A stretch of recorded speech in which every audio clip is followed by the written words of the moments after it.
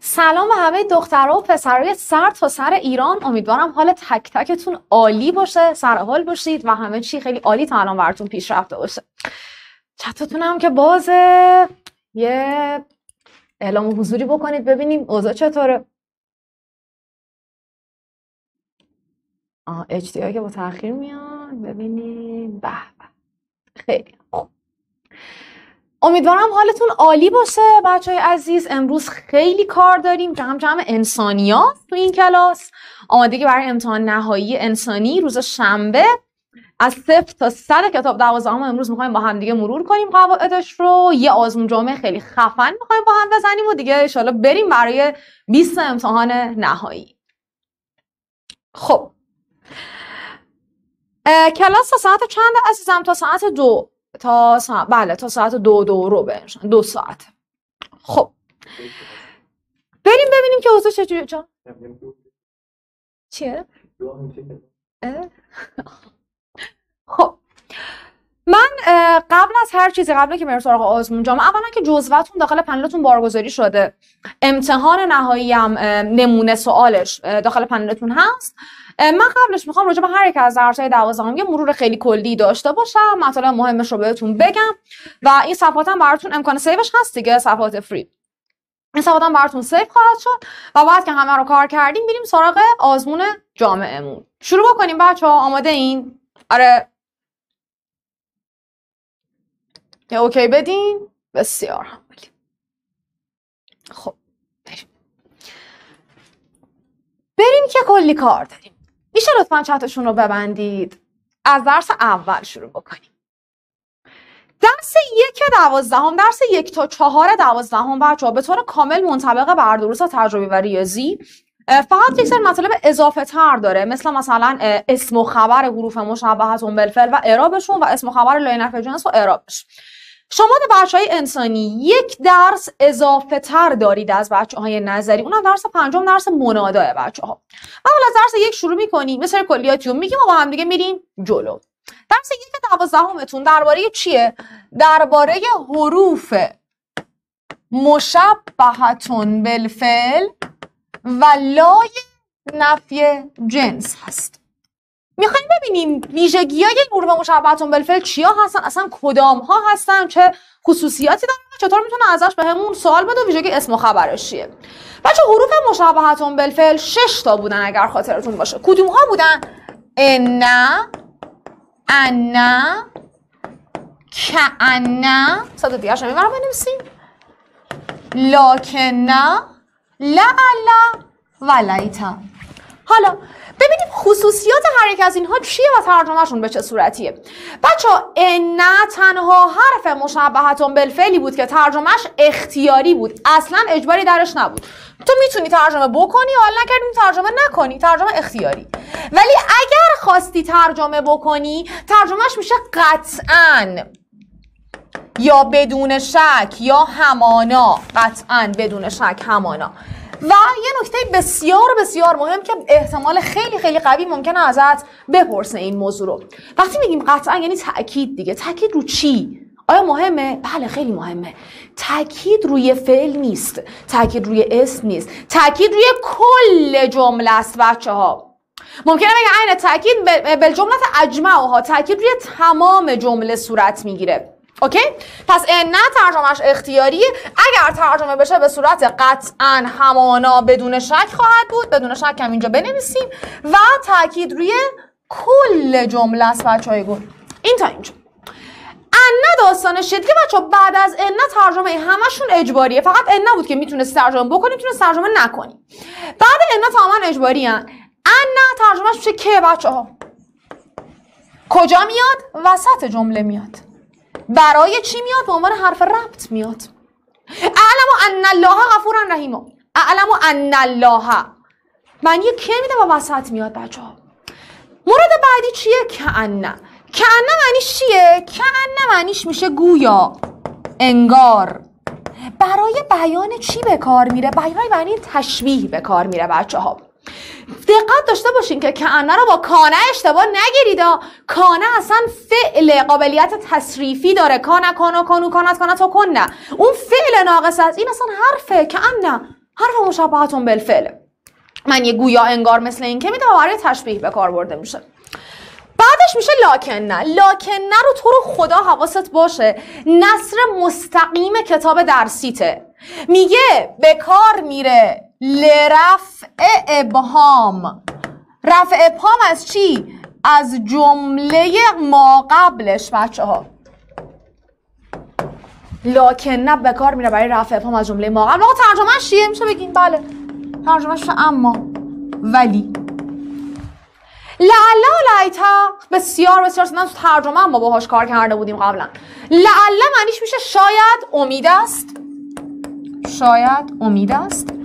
لیتا معنیش میشه. ای کاش. بچه شما در لعله هنوز امیدواری دارید؟ یعنی چی امیدواری دارید معلمت یه رو دیر کرده. دوست بغل دستید میگه که شاید خانم فلانی شاید آقای فلانی نیاد.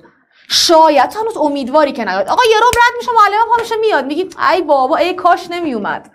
دیگه شما توی ای کاش کارت به آرزو کردن رسیدهش امیدواری نداری. ولی تو لعله کاملا امید داری هنوز. پس حالا که تو لعله امیدواری داریم بچه امید در زبان عربی میشه رجا. پس به لعله میگیم اسلوب ترجی. از ریشه رجا میاد رجا میشه امید. پس اگه گفت این اسلوب ترجی دنبال لعله میگردی. بچه آرزو در زبان عربی میشه امنیت. پس اگر بهت گفت اسلوب تمنا دنبال لیتا باید بگردی. لیتا امیدواری نداره آرزوه میشه اسلوب تمنا. لعل امیدواری داره پس میشه امید رجا اسلوب ترجی. از قضیه لعل و لیتا و کل حروف مشابهتون بالفعل. این شد از بحث ترجمهش ما یه کار خیلی مهمتر دیگه هم داریم دیگه بچه ها در گروه انسانی. اینکه اسم و خبرش بلوی سرش میاد چه اعرابی میگن اسم و خبر رو اینجور داستان ها بریم صفحه بعد راجع به اسم و خبرش می‌خوام صحبت بکنم. آقا شما یه جمله اسمیه داریم. چه جمله اسمیه ای؟ التلمیزو ناجهون. جمله اسمیه خیلی خیلی ساده. این حروف مشبهتون بالفعل میان بر سر جمله اسمیه و یک سری تغییراتی در مبتدا خبر در اعراب مبتدا خبر ایجاد می‌کنن. چه تغییراتی ایجاد می‌کنن؟ حروف مشبهتون بالفعل میان بر سر مبتدا و خبر. چی کار می‌کنن؟ مبتدا رو تبدیل می‌کنن به اسم خودشون خبر رو تبدیل می‌کنن به خبر خودشون. چه تفاوتی در اعرابش ایجاد میشه؟ مبتدای مرفوع رو می‌کنن منصوب خبر رو نگه میدارن اعرابش رو. پس حروف مشابهتون بالفعل میان می‌رسن میان بر سر مبتدا و خبر. مبتدا رو تبدیل می‌کنن به اسم خودشون خبر رو تبدیل می‌کنن به خبر خودشون. کاری با اعراب خبر ندارن. می‌زنن سر جای خودش بمونه. فقط اعراب مبتدا رو تغییر میدن. مبتدا میشه اسم حروف مشابهتون بالفعل و تبدیل میشه به اعراب منصوب. مبتدا خبر مرفوع بودن. خبر مرفوع بود. مرفوع باقی میمونه. هیچ مشکلی نداره. ولی مبتدایی که مرفوع بود می‌کنن منصوب. یعنی چی مثال میشه بزنید؟ آره ده تا مثال می‌زنیم که کاملا براتون جا بیفته. شما دارید همین مثالی که بالا زدیم. التلمیزو ناجهون من میام بر سر این یه لعله میارم. یکی از حروف مشبه هست دیگه. میشه لعل تلمیزه. دقت داشته باشید. لعل تلمیزه گفتم اسمشو می‌کنن منصوب با اعراب خبر کاری ندارن. لعل تلمیزه ناجهان. پس اسم یعنی مبتدا رو تبدیل می‌کنن به اسم خودشون اعرابش از مرفوع میشه منصوب. خبر رو در همون اعراب اصلی خودش نگه میدارن. پس اسم حروف مشبهتون بالفعل منصوب خبر حروف مشبهتون بالفعل مرفوع بچهای گل اوکی؟ این تا اینجا.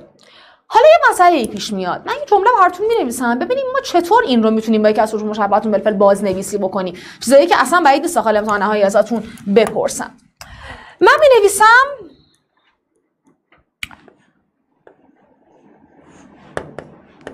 انتم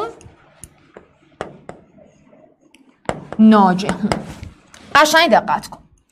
من می‌خوام قبل از این یکی از حروف مشبهتون بالفعل رو بیارم. دوست دارم انه رو بیارم.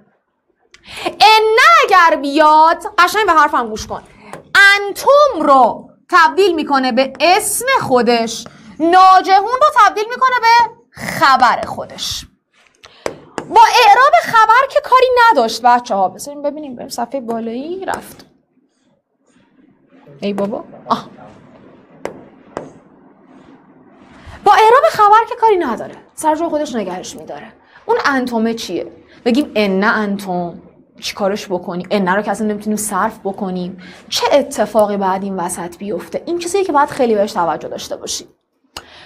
گفتیم زمانی که مبتدا تبدیل میشه به اسم حروف مشبهت بالفعل میشه منصوب. این زمیر انتم باید تبدیل بشه به معادلش در زمایر منصوبی. چطور باید تبدیل بشه؟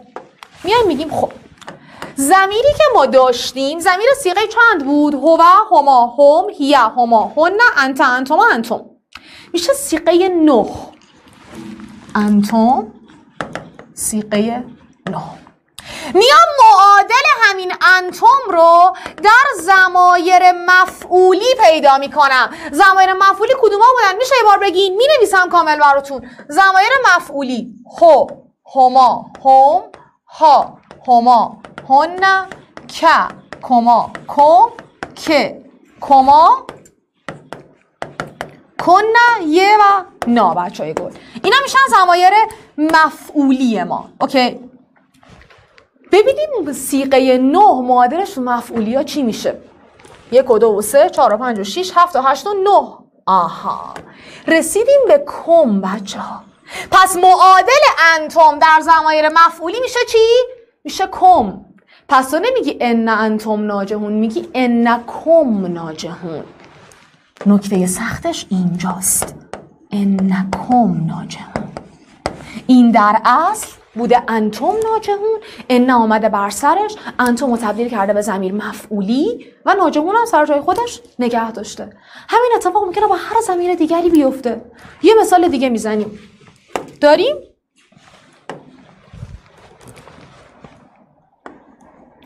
هنه فرهات این رو من می‌خوام با چی بازنویسی بکنم؟ می‌خوام با کعنه بازنویسی بکنم. میام نگاه می‌کنم میگم هو هما هم هیا هما هنه شو سیغه 6 ببینیم 6 مفعولی ها معادلش چیه؟ یک و دو و سه چهار و پنج و شیش. بازم از شانس خوبمون هنه پس با کعنه تبدیل میشه به هنه فرهات هنه فرهات همین می‌تونم با انته بنویسم. اگه با انته بنویسم میشه که انکه اگر با هو بنویسم میشه که انهو اگر با هیه بنویسم میشه که انه ها یه مثال بنویسیم شما منو کمک بکنیم توی حلش.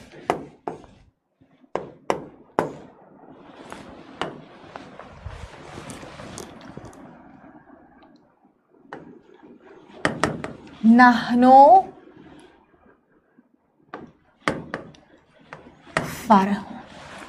این رو می‌خوایم با لاکن بنویسیم شما منو کمک بکنید. باید دقت بکنیم ببینید نحن و سیغه چنده معادلش رو زمین مفعولی رو به دست بیاریم و با استفاده از لاکن نه جمله رو بازنویسی بکنید. چطورشون رو باز می‌کنی؟ چی بنویسیم به نظرتون؟ چی بنویسیم به نظرتون؟ باریکلا دقیقا همینه.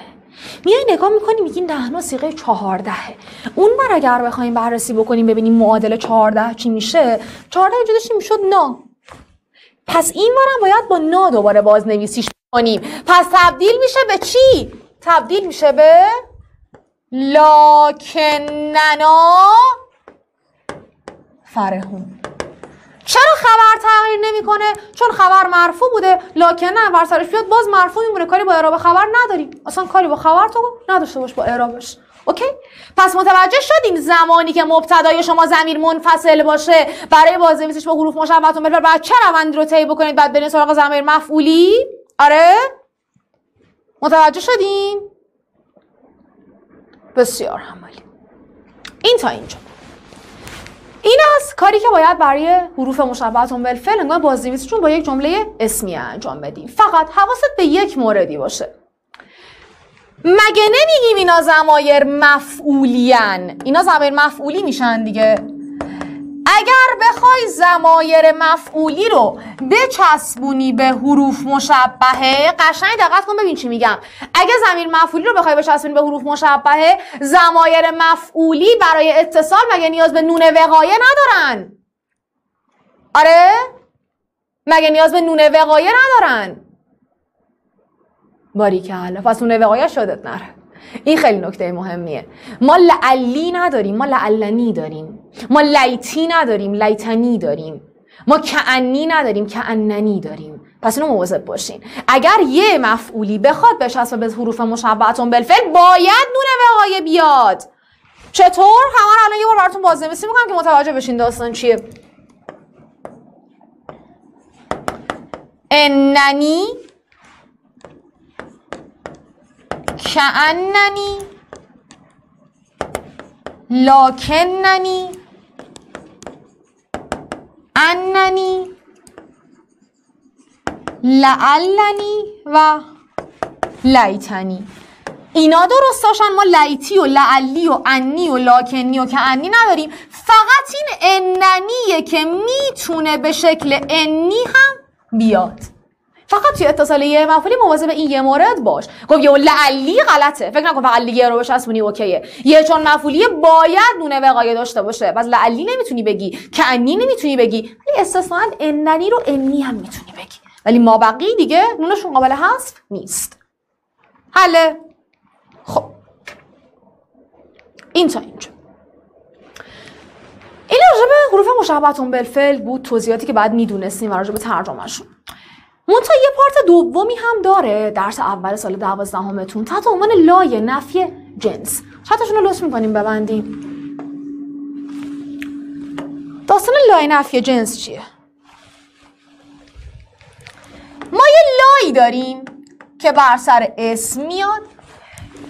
به این اسم میگیم اسم لای نفی جنس. که این اسم لای نفی جنس هیچی نمی‌گیره. الف لام نمی‌گیره تنوینم نمی‌گیره فقط یه دونه فتحه می‌گیره. لا الا ها لا تلمی ز لا معلم لا کتاب. نفی جنسش یعنی چی؟ یعنی کلا داره وجود و از بیخوبان نفی می‌کنه. میری نگاه می‌کنی تو قفسه هیچ کتابی نیست. کاری نداره کتاب تاریخی کتاب جغرافی کتاب درسی غیر درسی هیچ کتابی نیست. میگی هیچ خدایی نیست به جز الله. هیچ. پس این هیچه کلیدشه؟ این کلید واژش این کلمه هیچه بچه ها اسم لاین نفی جنس الف و تنوین مطلقا نمی‌گیره و ترجمهش همواره با هیچ فلان چیزیه. فلان چیزی نیست یا وجود نداره ترجمهش همواره با هیچ صورت می‌گیره بچه یه معادل معنایی خیلی خیلی قشنگم داره. ببینم کی یادشه چتتون رو باز می‌کنی؟ معادل معنایی لای نفی جنس چیه؟ بادو معادل معنایی لای نفی جنس باریکلا باریکلا. باریکلا معادل معنایی لای نفی جنس در زبان عربی ما منه یعنی چی مامنه؟ یعنی می‌تونه به جای اینکه به شما بگه لا اسمه می‌تونه به جاش بگه ما من اسمن و هر دو معنی هیچ فلان چیزی نیست رو میدن هر دوشون معنی یکسان میدن یعنی چی؟ می‌تونه به جای اینکه بگه لا اله بگه ما من الهن. هر دوش همیشه هیچ خدایی وجود ندارد بچه ها. اوکی؟ مدل معنیش میشه مامن و به این مسئله هم دقت بکنید بچه ها. اسم و خبر لای نفی جنس هم عین حروف مشبه هست یعنی اسم لای نفی جنس هم عین حروف مشبهتون بالفعل منصوبه خبرش هم عین حروف مشبهتون بالفعل مرفوعه. پس من اینجوری جمع بندی می‌کنم می نویسم حروف مشبهتون بالفعل. و لای نفی جنس هر دو پشمندشون اسم و خبر میاد که اسم هر دو منصوبه خبر هر دو مرفوعه. اوکی؟ این تا اینجا. و دقت داشته باشید بچه ها خبر لایه نفی جنس هیچگاه هیچگاه امکان نداره که مقدم بشه. این نکته که حتما باید بهش توجه داشته باشید. این تا اینجا. این شد از تمام آنچه که نیاز بود در رابطه با درس اول دوازدهمتون بدونید. حروف مشابهتون بالفعل داستان اسم و خبرش اگه زمین باشه چه اتفاقی میفته اگه اسم و شعر باشه تغییر می‌کنه و مسئله لایه نفی جنس و همچنین نحوه ترجمه این دو قسمت. تا اینجا موردی هست؟ آره. بله. یه نمونه سوال خفن خورداد پارسال می‌خوایم با هم دیگه بزنیم آخر کلاس. خورداد پارسال می‌خوایم بزنیم شیشه خورداد اصلا اساسی کار داریم با هم خب فیلم هم فکر می‌کنم ذخیره میشه درسته؟ فیلمتون هم ذخیره میشه بله. خب حالا میریم سراغ درس دوم. بچه من بذارید بنویسم این نکات رو بعد آخر درباره ترجمه هم باتون صحبت خواهم کرد که داستان ترجمه به چه شکلیه. نکته آخرم عزیزم گفتم خبر لاین نفی جنسش گاه مقدم نمیشه امکان نداره که زودتر بیاد. خب بریم سراغ بخش بعدی. امکانش چتشون رو ببندی مرسی. درس حال درس دوم سال دوازدهمتون بچه. حال در زبان فارسی معادل قید اسم در نظر گرفته میشه. یعنی چی قید اسم؟ هزاران جمله ما می‌تونیم مثال بزنیم. معلم را گریان دیدم. معلمه داشته گریه می‌کرده. گریان یه قیدی راجع معلم داره صحبت می‌کنه. دوستم خندان بود. خندان راجع به دوست داره حرف می‌زنه. من خوشحال به مدرسه رفتم. خوشحال راجع من صحبت می‌کنه. درسته؟ پس ما اینجا با قید اسم طرفیم بچه ها حالا ما به طور کلی سه مدل حال داریم. می‌خوایم دونه و دونه اینها رو با هم دیگه کار بکنیم و ببریم جلو. یک حال مفرد. دو حال جمله اسمیه. و سه حال جمله فعلیه. ببینیم ویژگی هر یک از اینها چیه چه اتفاقاتی درشون میفته و چه تفاوتهایی با هم دیگه دارن. اول از حال مفرد شروع می‌کنیم که رایج ترین نوع حاله بعد اسمیه رو بگم و فعلیه رو فقط یه اشاره خیلی اندک و مختصری بهش خواهم کرد. از حال مفرد شروع می‌کنم. قشنگ با من بیا. اول می‌خوام راجع به قیافه حال صحبت بکنم. شما اولین قدم برای اینکه بتونید یه نقش رو تشخیص بدین و بدونید چه شکلیه چه ویژگیهایی داره ظاهرش چجوریه و چه اعرابی می‌گیره. اوکی. اولا بچه های گل حال یک نقش منصوبه. حال مفرد. یه نقش منصوبه ویژگی ظاهریش چیه؟ آقا حال داره قید اسم دیگه داره حالت اسم رو بیان می‌کنه. پس صد درصد باید مشتق باشه. مشتقا کدوم بودن؟ میشه یه بار بگید. آره دوره می‌کنیم مشتقا رو. مشتقا چهار گروه بودن بچه ها اسم فاعل و مفعول اسم زمان و مکان اسم تفصیل اسم مبالغه. که اسم فاعل مفعول یا از مجرد بود بر وزن فاعل مفعول یا مزید بود موع موع اسم زمان و مکان مفعل مفعل مفعلت جمعش مفاعل. اسم تفصیل افعل و فعلا و اسم مبالغه فعل و فعالت. حالا پس نتیجه می‌گیریم چون قید اسم حال باید صد درصد مشتق باشه. حالا چه جور مشتقی باید باشه؟ دقت کن. غالبا مشتق اسم فائل مفعول فرقی هم نمی‌کنه ها. می‌خواد مجرد باشه می‌خواد مزید باشه که مجردش بر وزن فاعل مفعول ساخته میشه. مزیدش موع موع ساخته میشه. مثل معلم معلم مهاجر مهاجر متکلم متکلم منتشر منتشر. یا باید اسم فاعل مفعول باشه یا یکی از این سه وزنی هم که میگم می‌تونه به عنوان حال در نظر گرفته بشه. فعل فعیل و فعول. یکی از این سه وزن می‌تونن به عنوان حال باشن. غفور کریم رحیم فرح اینا هم می‌تونن به عنوان حالهای ما در نظر گرفته بشن این از دومی ویژگیش. منصوب شد مشتق شد. سومین ویژگیش چیه؟ سوم اینه که آقا حتما حتما باید یه اسم نکره باشه. حال مفرد و صرفا داریم صحبت می‌کنیم. سه تا ویژگی داره. اسم مشتق نکره منصوب همواره بچه ها اوکی؟ حالا منصوب بودنشون می‌تونه با اوان نشون بده می‌تونه با عینه نشون بده و یا می‌تونه با اینه نشون بده. این از ویژگی و قیافه حال مفرد. مثلا این مسئله وجود داره. مسئله خیلی خیلی مهم در مبحث حال وجود داره. چه مطلبی؟ اینکه شما میگی آقا اوکی این حال. این حال تو قید اسم بود دیگه. پس داره راجع به یه اسمی صحبت می‌کنه. پس داره راجع به یه اسمی توضیح میده. قید یک اسمیه.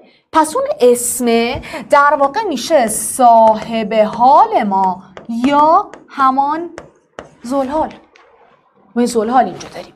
یه حاله یه زلحال دوستم را خوشحال دیدم. خوشحال داره به دوست صحبت می‌کنه. پس اون دوست صاحب حال توه. زلحال توه. چند تا نکته راجع به زلحال می‌خوایم با هم دیگه کار بکنیم بریم جلو. آقا اولین مسئله. یه چیزی حواست باشه. زلحال بودن نقش نیست. ولی حال بودن نقشه. آقا یعنی چی زلحال بودن نقش نیست؟ زلحال این موصوف این مضاف خودش می‌تونه نقش بگیره. می‌تونه فاعل باشه می‌تونه مفعول باشه. نگاه کن به مثالم می نویسم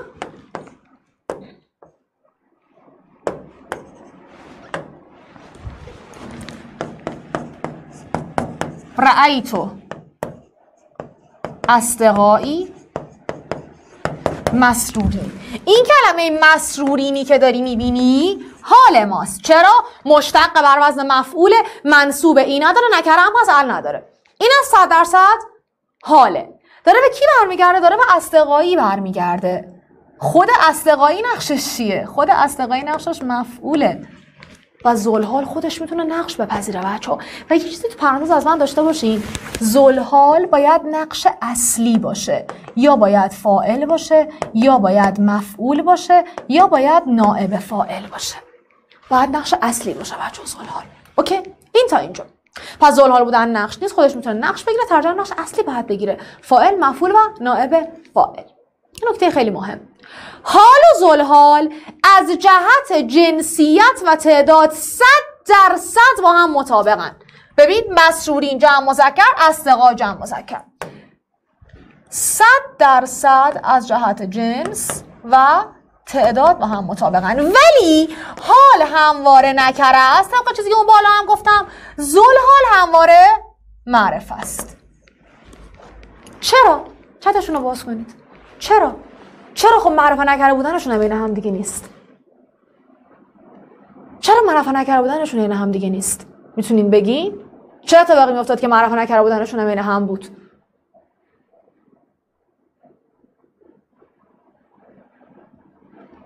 مرسی زهرا باریکلا. مرسی محمد. باریکلا. ممنونم مبینا. چون صفت موصوف می شدن دو تا اسمن جنسیت یکسان. تعداد یکسان. معرفه نکردن یکسان باشه که صفت موصوفن حال و زلحال در کار نیست. درسته؟ چطور؟ میشه مثال بزنین از این باره؟ آره. نگاه دو تا جمله برات می نویسم رأینا الطفله معدبا رأینا طفلا معدبا کلمه معدبا ویژگی های حال شدن رو داره. یعنی چی؟ مشتقه بله موعه نکرست بله. منصوبه بله. ولی آره در هر دو مورد حاله. آره. در هر دو مورد حاله. نه. چرا حال نیست؟ دلیل داره. در مثال اول قطعا حاله. به خاطر اینکه خودش مفرد مذکره. داره برمیگرده به التف که الطفل هم مفرد مذکره. خودش نکره است الطفل معرف است. همین ویژگی حالو صرف تا صد داره. ولی مورد دوم نگاه کن. مفرد مذکره مفرد مذکره دوتاشون هم نکرن. پس اینا اصلا صفت موصوفن. حال و زلحال نیستن. خیلی ممکنه در امتحان نهایی شما چند تا گزینه بده بگه حال رو مشخص کن. و خیلی جا با همین قضیه صفت موصوف بازی بکنه. پس دقت کن که حال باید به اسم معرفه برگرده. خودش نکره سال معرفه برمیگرده. چون باید نکره اگر برگرده دیگه اصلا صفت موصوف شما داری. حال و زل حالی نداری. پس تنها تفاوت حال و حال و صفت موصوف این شد. هر دو از جنس تعداد با هم دیگه یکسانن ولی صفت موصوف معرفه نکرهشون هم یکسانه. حال و حال نه. حال خودش نکره حال همواره معرفه است. تا اینجا حله؟ ترجمهشون هم میگم فاطمه جان. میگم این تا اینجا. متوجه شدین؟ خب. میگم عزیزم ترجمه رو همه رو میگم. با مثال بزنید تموم شه بخش حال. ترجمه حال رو خواهم گفت بهتون کامل. ترجمه حال رو کامل خواهم گفت بهتون. این تا اینجا. آره هانیه جان. آره عزیزم. این تا اینجا. حالا ما صفحه اول اومدیم راجع به انواع حال صحبت کردیم. این بار توضیحاتش رو دادیم گفتیم آقا خیلی خوب یه حال مفرد داریم ما. اسم مشتق نکره منصوب بنویسیم تکمیلش بکنیم. مشتق نکره منصوب حله حال جمله اسمیه رو الان می‌خوایم بگیم. حال جمله اسمیه رو قبلا بارهای بار باش مواجه بودیم در مسئله ترجمه. یه ساختار بسیار بسیار تابلو داره حال جمله اسمیه که تو هر گزینه می‌بینی سری می‌تونی بگی آقا این رو هوا حال جمله اسمیه است. کدام ساختاره؟ یه سرش فعلیه وسط واو حالیه و یه سرش اسمیه. که این اسمیه غالبا می‌تونه با ساختار ضمیر به علاوه خبر بیاد. و هو فلان جور و هی فلان جور و انت فلان جور و نحن فلان جور. می‌تونه ضمیرم نباشه. الزامی نیست که بگیم حتما باید ضمیر باشه. ولی اصولا ما مسئله ضمیر مبتداش اصولا ضمیره. که ما به این قسمت دقت کن کجا رو دارم highlight می‌کنم ما به این قسمت میگیم چی؟ میگیم حال جمله اسمی. فقط به جمله اسمیه نمیگی یا فقط به زمیره نمیگی حال یا فقط به خبره نمیگی حال. کل این مجموعه و و فلان جور میشه حال جمله اسمیت که خودش متشکل از جمله اسمیه و مبتدا و خبر و اینجور داستان است مثال جمله مستقیم کتابتون. لا تهنو و لا و انتم الاعلون این جمله رو ما داشتیم.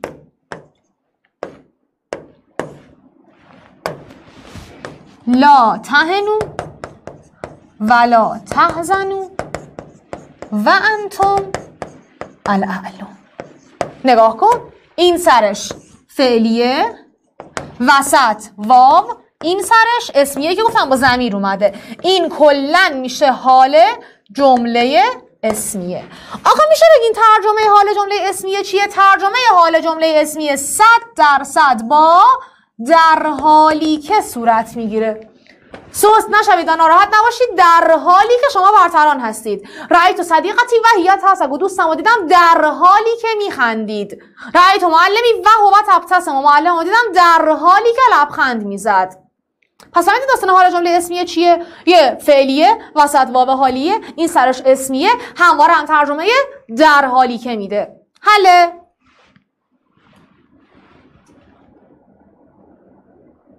اوکیه. آره عزیزم ذخیره میشه. این تا اینجا. این راجع به حال جمله اسمیه. محمد رضا آره بهتره که در حالی که بیاد. بهتره که در حالی که بیاد.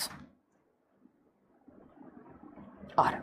واو حالیه. عرفان همین الان بهتون گفتم. واو حالیه واوی است که این ورش فعلی است قبلش فعلی است بعدش جمله اسمیه میاد عرفان. حالا اون جمله اسمیه می‌تونه با زمین شروع بشه می‌تونه با زمین شروع نشه. این تا اینجا. حالا میریم سراغ بحث بعدی. حال جمله فعلیه. گفتم فقط می‌خوام توضیح خیلی ضمنی راجع به حال جمله فعلیه بدم. حال جمله فعلیه رو در همین حد میگم. یه جمله میگم تموش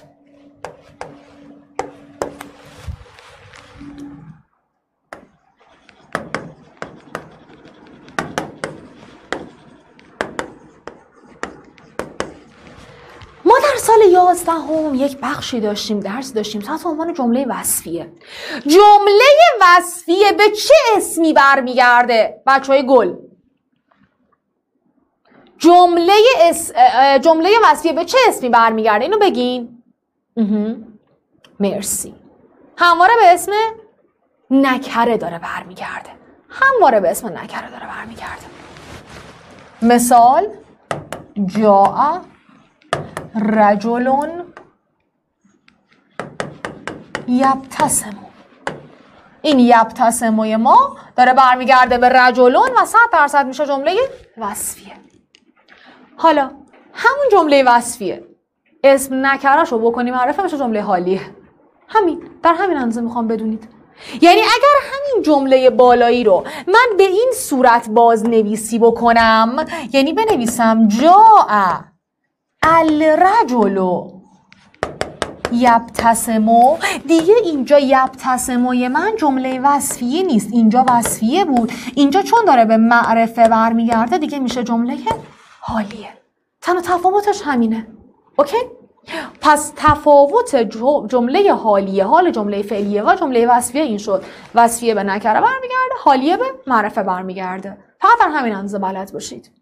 متوجه شد این داستان چی شد؟ این میشه مردی را دیدم که لبخند می‌زد. این میشه مرد مردی را مردی آمد که لبخند می‌زد. این میشه مرد آمد در حالی که لبخند می‌زد. تفاوت ترجمهش خیلی مهمه بچه اولی میشه مردی آمد که لبخند می‌زد. این میشه مرد آمد در حالی که لبخند می‌زد اینم با در حالی که ترجمه می‌کنین بچه ها اینم با در حالی که ترجمه می‌کنین. این میشه که لبخند می‌زد. این یکی میشه در حالی که لبخند می‌زد. حواستون به تفاوت این دو باشه. اوکی؟ خب. حالا این تا اینجای داستان. این شد کلیت مسئله انواع حال ما. حال مفرد حال جمله اسمیه و حال جمله فعلیه. OK. دو تا مورد خیلی کوچولوی دیگه مونده. در رابطه با ترجمه حال و همچنین اینکه اگر حال نقش اصلی بگیره ما باید چیکار بکنیم. دقت داشته باشید. بچه screen می‌تونید بگیرید. save هم میشه براتون. می‌خواید screen ش رو بگیرید.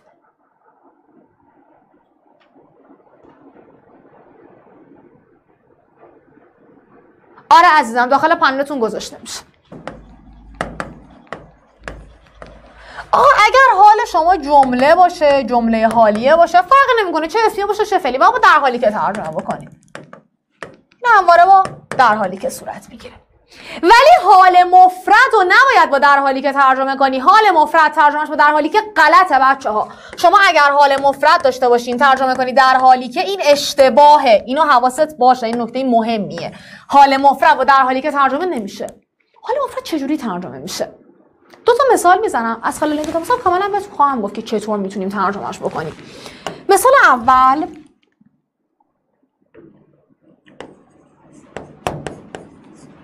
بعث الله النبین مبشرین. بعث الله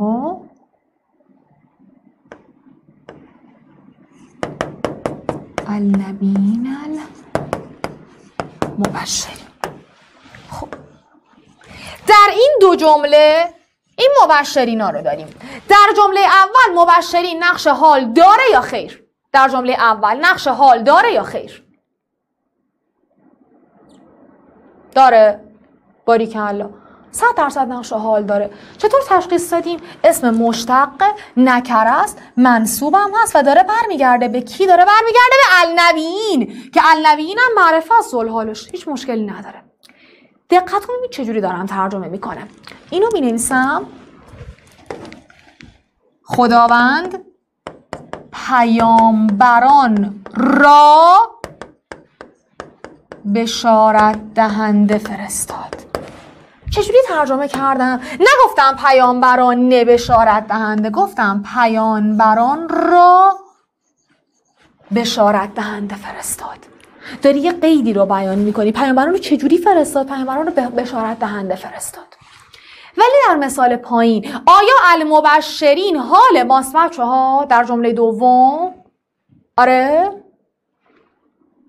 نه صفت موصوفه. اینجا خیلی خوشگل ترجمه می‌کنی خداوند پیامبران بشارت دهنده را فرستاد.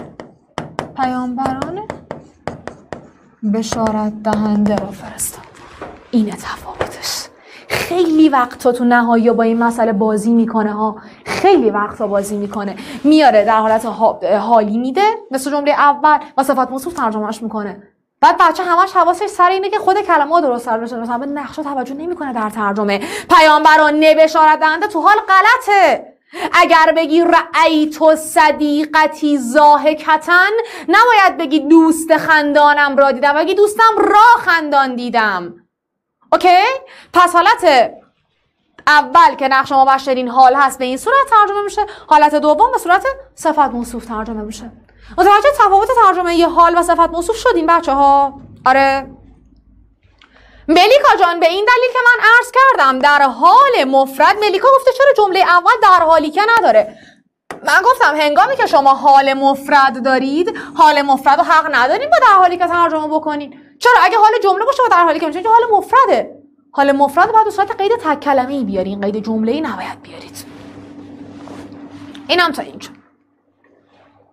حالا بریم سراغ یه بخش آخری در مبحث حال چون حال در پرجزئیات ترین بخش منصوباته. کدام قسمت؟ دقت داشته باشیم. سه تا جمله می نویسم از طریق این سه می‌خوام مبحث حال چهار تا جمله البته حال رو براتون تکمیل بکنم. می‌تونیم بنویسین اما یا حالا بعدا می‌تونین یادداشت برداری بکنید. می نویسین جعلناهم فرهینا رأینا طفلا فرحا.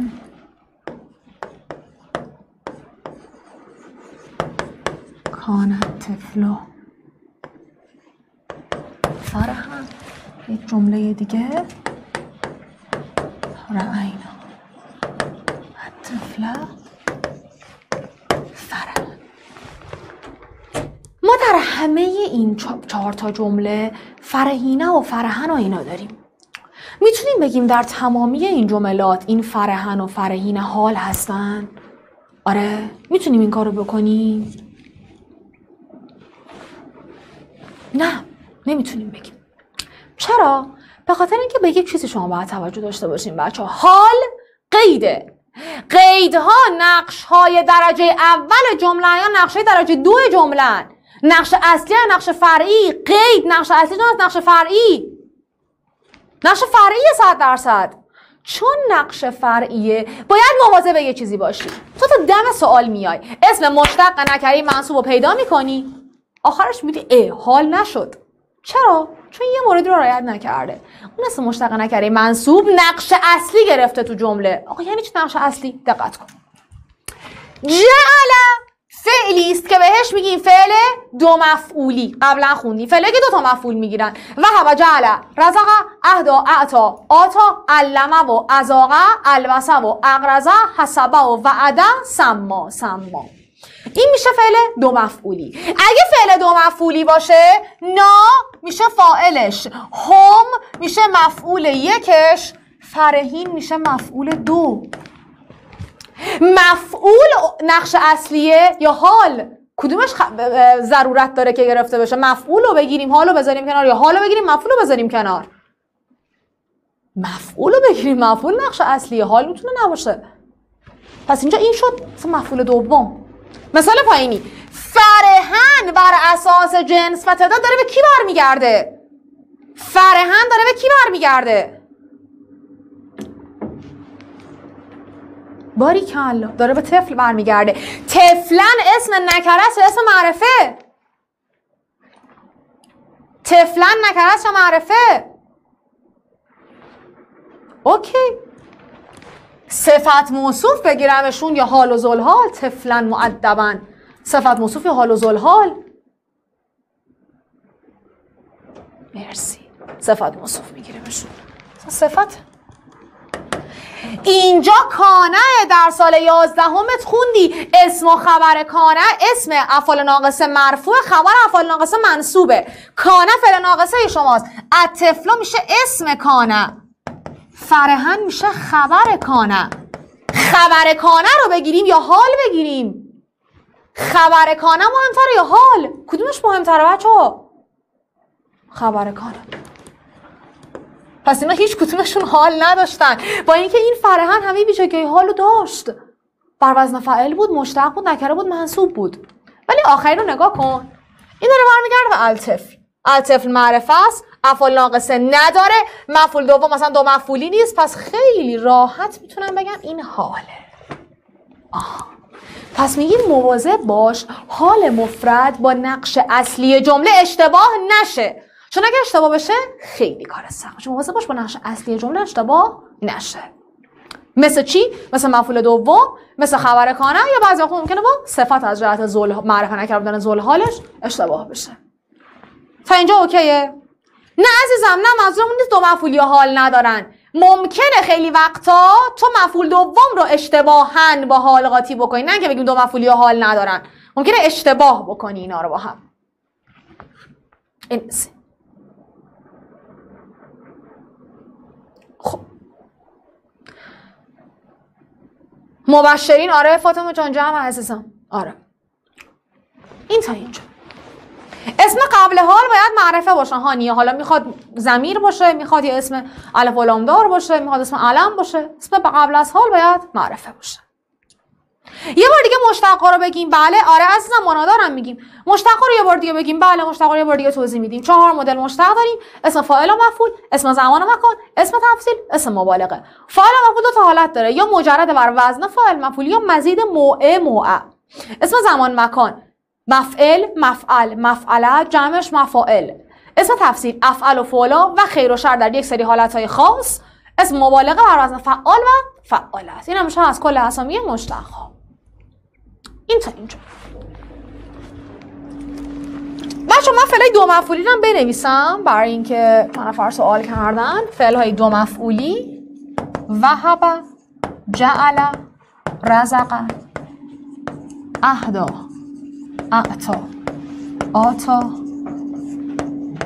علمه و ازاقه البسه و اقرزه حسبه و وعده و سما این میشن لیست افعال دو مفعولی ما این از توضیحات مرتبط به بخش حال حله خب برو بریم بهناز جان بهناز پرسیده اسم قبل حال که معرفه است فرق داره منصوب به مرفوع بودنش. بهناز بسته به اینکه چه نقشی بگیره اعراب می‌گیره. فاعل باشه مرفوع نائب فاعل باشه مرفوع مفعول باشه منصوبه. خب این تا اینجا. و اما میریم سراغ بخش بعد مسئله مفعول مطلق.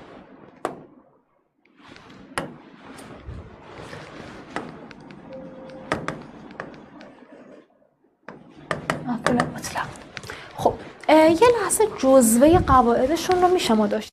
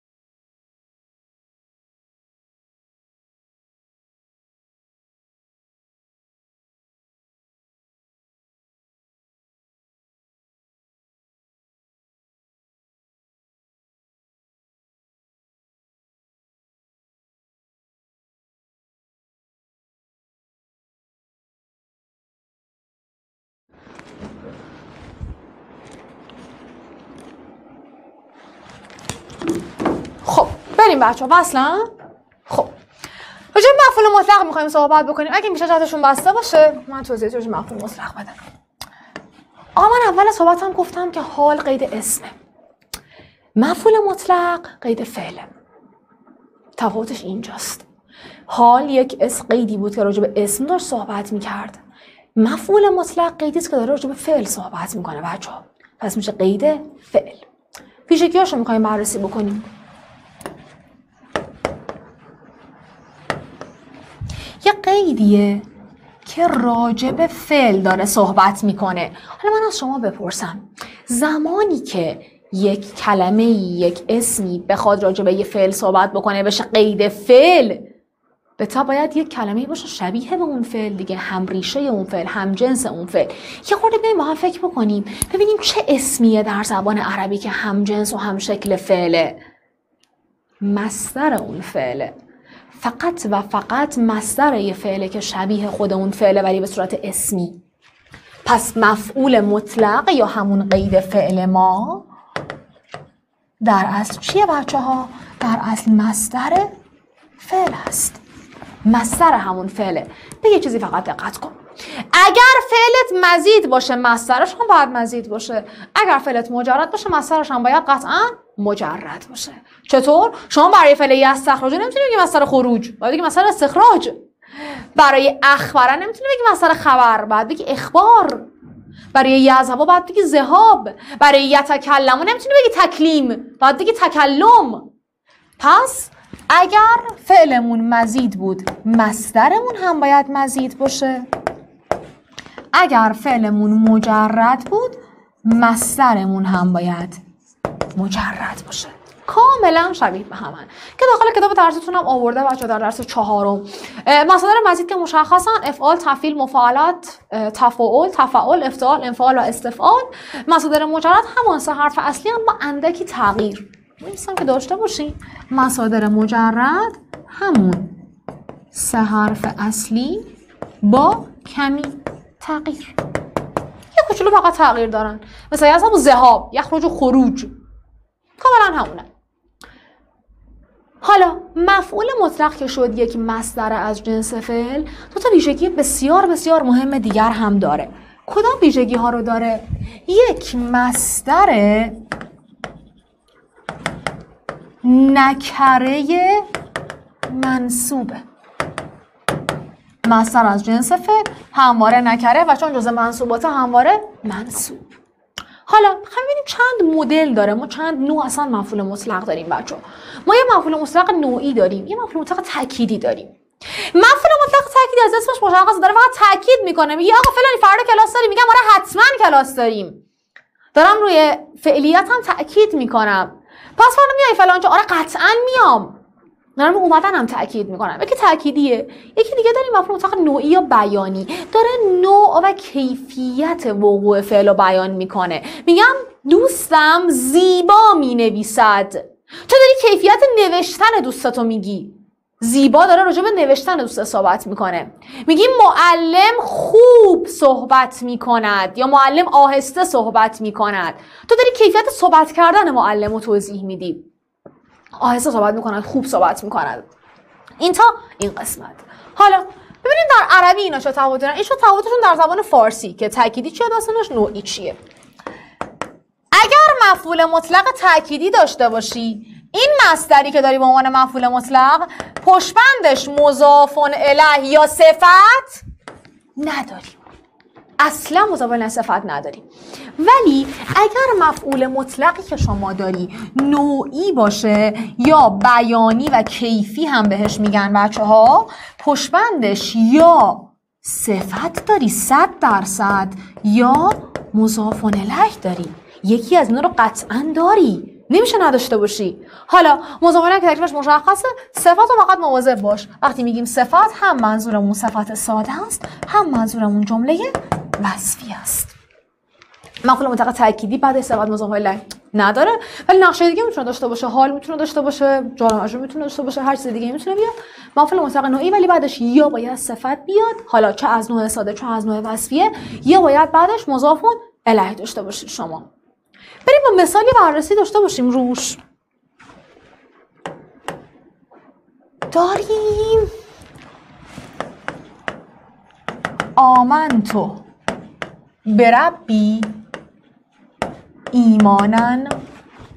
مثال دوم آمنتو بربی ایمانن. جمیلن. مثال سوم آمنتو بربی ایمان المتقین اولین کاری که برای پیدا کردن مفعول مطلق می‌کنی اینه که دنبال فعل و مصدر جنس بگردی. همین. یه وقتی اصلا اسم مشکل بچه اینه که نمی‌دونه از کجای سوال شروع بکنه.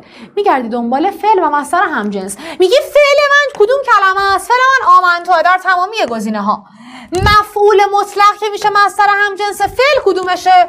ایمانن. اه چرا ایمانن؟ چون هم بابن هم ریشن. باب افعال آمنه فا اف اف علیو فل افل افعال که امنه بوده میشه آمنه. آمنه یومنه آمن ایمان افعال. از چه امنه؟ پس میشه باب افعال. فعل مثلا همجا انسان کاملا این یکی دوباره آمنتو ایمانن. این یکی هم دوباره میشه ایمان. ایمانن متقی منتها الان می‌خوایم ببینیم خب نوعشون چجوریه؟ کدوم ترکیبیه؟ کدوم نوعیه؟ در مثال اول شما بعد از مفعول مطلق هیچی نداری. صفت نداری مضاف هم نداری. پس قطعا مفعول مطلق شما مفعول مطلق تأکیدی خواهد بود بچه ها مفعول مطلق تأکیدی. در مثال دوم این جمیلن شما در جایگاه صفات برای ایمانن. گفتیم وقتی بعد از مفعول مطلق صفت داریم قطعا با مفعول مطلق نوعی طرف هستیم یا مفعول مطلق بیانی یا کیفی. اینجا چی؟ متقین چه نقشی داره برای ایمان؟ مضاف الیه. پس باز هم با مفعول مطلق نوعی طرف هستیم. اینجا از که صفت داشت اینجا از که مضاف الیه داره. این میشه از انواع مفعول نحوه تشخیص انواع مفعول مطلق. حالا یه سوالی پیش میاد. مورد اول ایمانن. مورد دوم ایمان نن جمیلن. مورد سوم ایمان نل متقین. ما اول حرفمون یه چیزی رو بیان کردیم به شما. چی؟ گفتیم آقا مفعول مطلق یه مصدر نکره منصوبه. یعنی تبدیل میشه به این شکل. میشه مصدرن. چرا گزینه سه شده ایمان نل متقین؟ چرا ایمان نن نشده؟ جواب بدین بچه ها چتاشون رو باز کنین لطفا. چرا ایمانن نشده گزینه جمله سوم؟ دلیلش چیه؟ چرا شده ایمان نل متقین؟ چرا تنوین نگرفته؟ مرسی. چرا؟ چون پشمندش مضاف الیه اومده. پس خودش میشه مضاف. پس مضاف علی تنوین نمی‌گیره. به این دلیله. چون مضاف علی تنوین نمی‌گیره. فقط همینه دلیلش بچه ها در اصل مفعول مطلق شما باید تنوین بگیره. ولی اینجا پشتبندش مضاف الیه اومده. حالا که مضاف الیه قبلی خودش میشه مضاف. و مضاف ما بلدیم. مضاف دو تا نشانه نمی‌گیره. ال نمی‌گیره تنوین هم نمی‌گیره. پس نمی‌تونی بگی ایمان نن متقین میگی ایمان نل متقین یکی از خفن ترین صورت سوال ها می‌تونه این باشه. یکی از زیباترین صورت سوال ها این مفعول مطلق لا یقبل تنوین. بچه ها همه پنیک می‌کنن چیکار باید بکنیم دنبال چی باید بگردیم چجوری داستان. وقتی میگه مفعول مطلق لا یقبل تنوین باید دنبال مفعول مطلق نوعی بگردی که پشماندش مضاف الیه اومده. چرا؟ چون پس در نتیجه خود مفعول مطلق میشه مضاف و مضاف علی تنوین. نمی‌گیره لا یقبل تنوینه. اوکی؟ این تا این قسمت. این از مسئله مفعول مطلق. متو بحث ترجمه مفعول مطلق پیش میاد بچه ها که بسیار بسیار ممکنه در ترجمه سوالات امتحان نهاییتون کمکتون بکنه. یه چی یه نکته کلیدی رو بدونی کل مشکلت حل در مسئله ترجمه مفعول مطلق. آقا اون نکته همینه در ترجمه مفعول مطلق قشنگ دقت کن.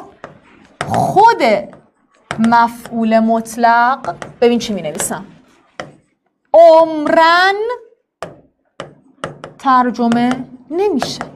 محال ممکنه. این یه قاعده صد درصدیه بچه ها این دیگه خیلی چون اگه بشه اگه نشه اینجور داستانه نیست. عمرن میگی محال ممکنه تو ترجمه مفعول خود مفعول ترجمه شه اه مگه میشه؟ میگم آره چرا نمیشه؟ دو مدل مفعول مطلق داری. اگر مفعول مطلق تأکیدی بود فقط با قیود تأکید ترجمهش می‌کنی. آمن تو برای ایمانن. به پروردگارم قطعا ایمان آوردن. بدون شک ایمان آوردن. مثال بعدی. اگر نوعی بود فقط خود صفت یا مضاف الیه ترجمه میشه مثال صفحه قلب رو نگاه بکنید بچه ها آمن تو به ربی ایمانن جمیلن. نمیگی به پروردگارم ایمان آوردم ایمان زیبایی ایمان آوردنی زیبا. خود ایماننه میره کنار. خودش مرخصه تو ترجمه. برمیگردی میگی به پروردگارم به زیبایی ایمان آوردم. قید فعل دیگه زیبا ایمان آوردم به زیبایی ایمان آوردم. و این یکی نمیگی به پروردگارم ایمان آوردم ایمان پرهیزگاران. میگی به پروردگارم مانند پرهیزگاران ایمان آوردم یا پرهیزگاران ایمان آوردم. خود مفعول مطلق مرخص تو ترجمه خودش رو ترجمه نکن خواهشن اگه تو نهاییت از درس مفعول مطلق سوال داد بر نداری خود مفعول مطلق ترجمه کنی یا؟ میگه تجتهد الام فی, فی تربیت ابنائها اجتهادا بالغا میگه مادر در تربیت فرزندانش تلاش بسیاری می‌کند. نه! بسیار تلاش می‌کند. تلاش بسیاری غلطه. ایمان زیبایی غلطه. اینا همشون اشتباه هم بچه ترکیب وصفی نباید این رو ببینید. بعد فقط صفت رو بردارید و با توجه به فعل قبلش ترجمهش بکنید. نمیگی ایمان زیبایی تلاش بسیاری بسیار تلاش می‌کند به زیبایی ایمان میآورد. حله؟ مسئله ترجمهش رو گرفتیم چی شد؟ آره؟ چند تا دونه ترجمه می نویسم و ترجمهش می‌بریم جلو.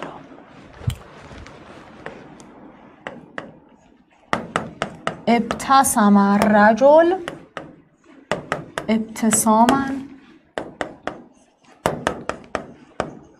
ابتسم الرجل ابتساما جمیلا. ابتسم الرجل ابتسام الاب حالا ببینیم چه تفاوتی دارن تو ترجمه. این مفعول مطلق تأکیدیه. میشه مرد قطعا لبخند زد. این یکی میشه مرد زیبا یا به زیبایی. لبخند زد. این یکی میشه مرد مانند پدر یا پدرانه. لبخند زد. آقا مفعول مطلق رو میشه نشونه ما بدین ابتسامن تأکیدی. ابتسامن جمیلا. فقط صفت رو ترجمه کردم. ابتسام الاب فقط مضاف الیه رو ترجمه کردم. قطعا زیبا یا به زیبایی مانند پدر یا پدرانه. نمیگی مرد لبخند زد لبخند پدر. این ترجمه غلط حالا بچه حواستون باشه. خیلی نکات ریزی هستن که ممکنه یه لحظه بچه اشتباه کنه و کل نمرش از دست بده. حله. خب این تا اینجا. بچه به خدا که save میشه. از اول کنم 7 ده تا. آره save میشه. به خدا save میشه. نگران نباشید خب این تا اینجا. این هم از صفحه قبل همش save میشه بچه نمی‌خواد اسکرین شات بگیرید. خب یه یکی دو دقیقه ای استراحت می‌خواید بکنید که برگردیم مستثنی و خیلی کوتاه بگم چون اونا خیلی مختصرن. و بعد بریم آزمون. آره؟ خب. دو سه دقیقه استراحت بکنین خیلی کوتاه و سریع برگردیم که تکمیل می‌کنیم و آزمون رو با هم جمع کنیم. خسته نباشید تا ساعت تا ساعت دو. تا کلاسمون تا ساعت دوه بچه ها خسته نباشید فعلا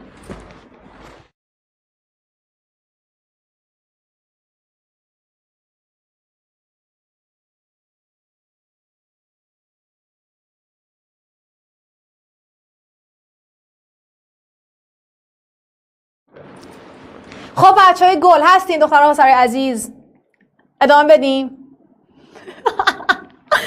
ای خدا. خب بریم ادامه مستثنا رو بریم با هم دیگه. بوده بریم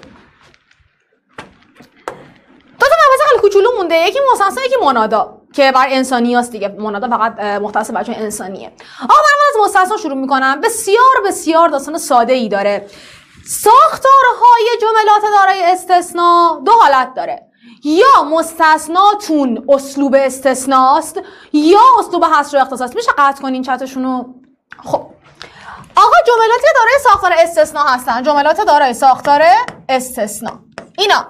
یا اسلوب استثنا هستن یا اسلوب حصر و اختصاص. بچه ها مستثنا که کلمه بعد الاس وجودش ضروریه. خود الا هم که وجودش ضروریه. ولی ما این مستثنا منه داریم که میشه اون مرجع اصلی که مستثنا ازش جدا میشه. من میگم من امروز همه کارامو کردم الا تست ادبیات. تست ادبیات داره از همه کارا جدا میشه داره از همه برنامه جدا میشه. درسته؟ اون میشه مستثنا من مجموعه اصلی. مستثنا منه می‌تونه بیاد می‌تونه نیاد. بر اساس حضور یا عدم حضور مستثنا ما دو مدل مستثنا داریم. استثنا حصر و اختصاص. آقا اگر استثنا باشه مستثنا منهش هست. اگر حصر و اختصاص باشه مستثنا منهش نیست.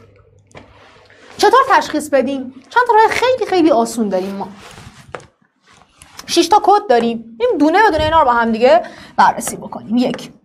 میگیم اگر فعل مثبت دیدی اگر دیدی فعلت مثبته. من همه کارامو کردم. رأی تو استقایی چون زهب تو فلان. اگر دیدی جملت مثبته فعل منفی نداری صد درصد اسلوب استثناست. اگر دیدی فعلت مثبت صد درصد اسلوب استثنا. مورد بعدی. اگر دیدی قبل از الا قشنگ گوش کن به مثال ما اگر دیدی قبل از الا یکی از این کلمات رو داری. یا کل داری یا جمیع داری یا شیع داری یا احد داری. اگر دیدی یکی از این کلمات رو داری قبل از الا صد درصد با اسلوب استثناء طرفی. فقط یه چیزی رو بپا. شیع و احد صد درصد هستند. یعنی صد درصد اگه دیدیشون میگی استثناء کل جمعی باید چک بشن. یه چک خیلی خیلی کوچولی باید باشن که ببینیم آیا واقعا اون مرجع اصلی درش وجود داره یا نه. پس میگیم کل و جمعی شیع و احد شیع و احد صد درصده. اینا اگه دیدی رو هوا میگیم استثنای تام یا همون اسلوب استثناء. مورد سوم چیه؟ مورد سوم ما میگه آقا اگر بعد قشنگ دقت کن اینو گفتم قبل الا. اینو دارم میگم بعد الا. اگر بعد الا یکی از زمایر هم و هنه کم و کنه نا رو دیدی صد درصد میگی این مستثنا چیه؟ اسلوب استثناست. اسلوب استثنا یعنی مستثنا منهش حضور داره.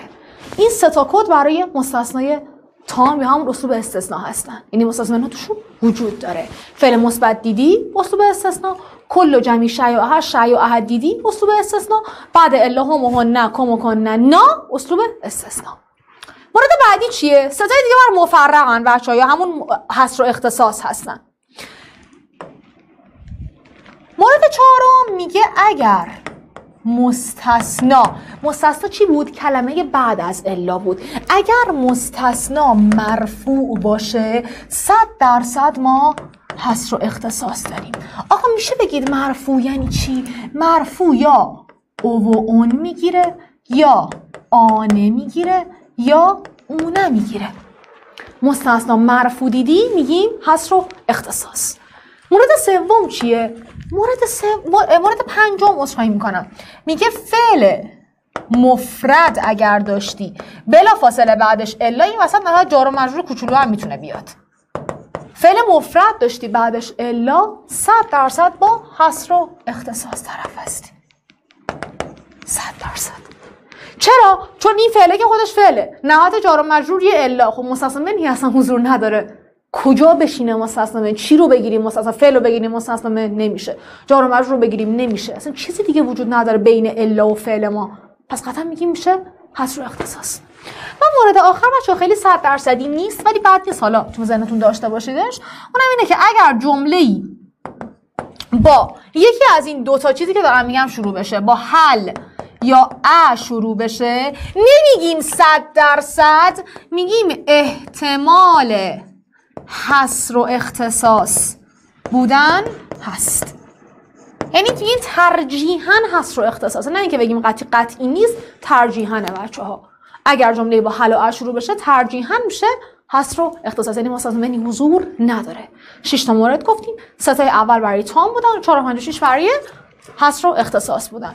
فعل مثبت ببینی 100 درصد میشه استثناء یعنی مستثنا منش هست.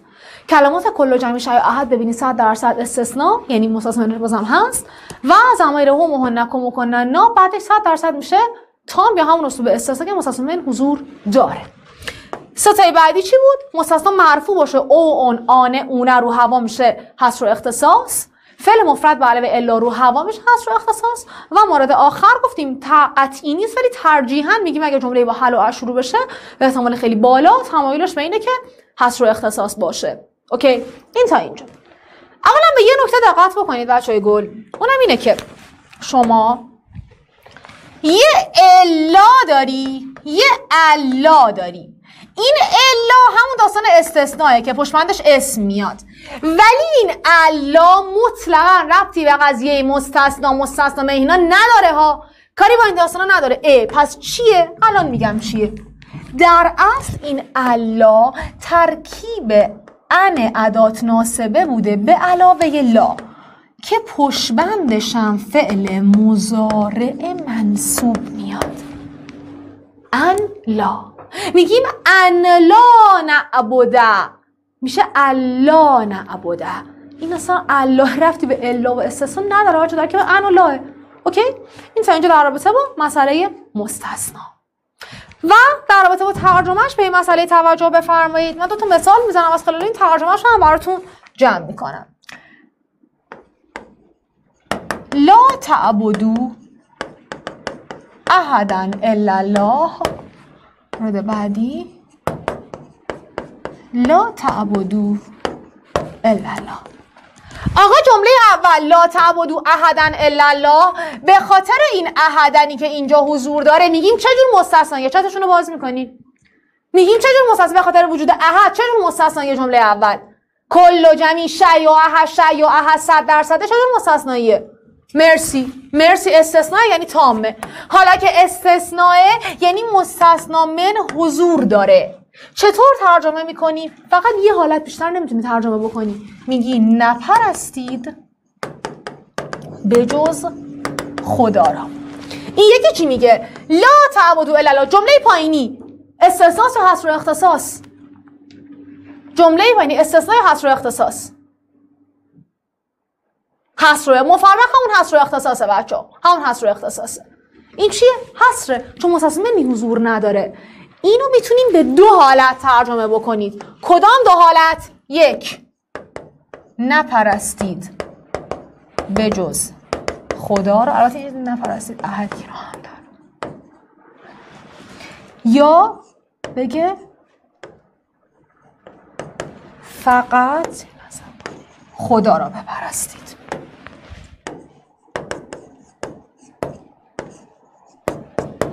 اینو می‌تونه منفی ترجمه کنه یا می‌تونه مثبت ترجمه کنه. اینی که مثبت ترجمه کرده یه جورایی داره حصر ایجاد می‌کنه.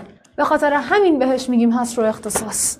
اینا رو یاد بگیرید حفظ نکنید خواهش می‌کنم. اصلا حفظ کردن نداره. اینو دو مدل می‌تونید ترجمه کنید یه مدل عادی یه مدل با حصر. فقط خدا رو بخوره به همین بهش اسلوب حصر و اختصاص. داره؟ حصر ایجاد می‌کنه محدودیت ایجاد می‌کنه. اوکی؟ پس اینجا یادتون بمونه اگر بهت داخل داخل سوال نهایی نمونه سوال الان می‌خوایم بزنیم و اگر بهت برگشت گفت اونی که می‌تونه به شکل حسریه ترجمه بشه دنبال اختصاص باید بگردیم و دنبال تام استثنا. گفت اونی که می‌تونه به شکل حس ترجمه بشه. دنبال چی باید بگردی اگه گفت اونی که می‌تونه به شکل حسریه ترجمه بشه.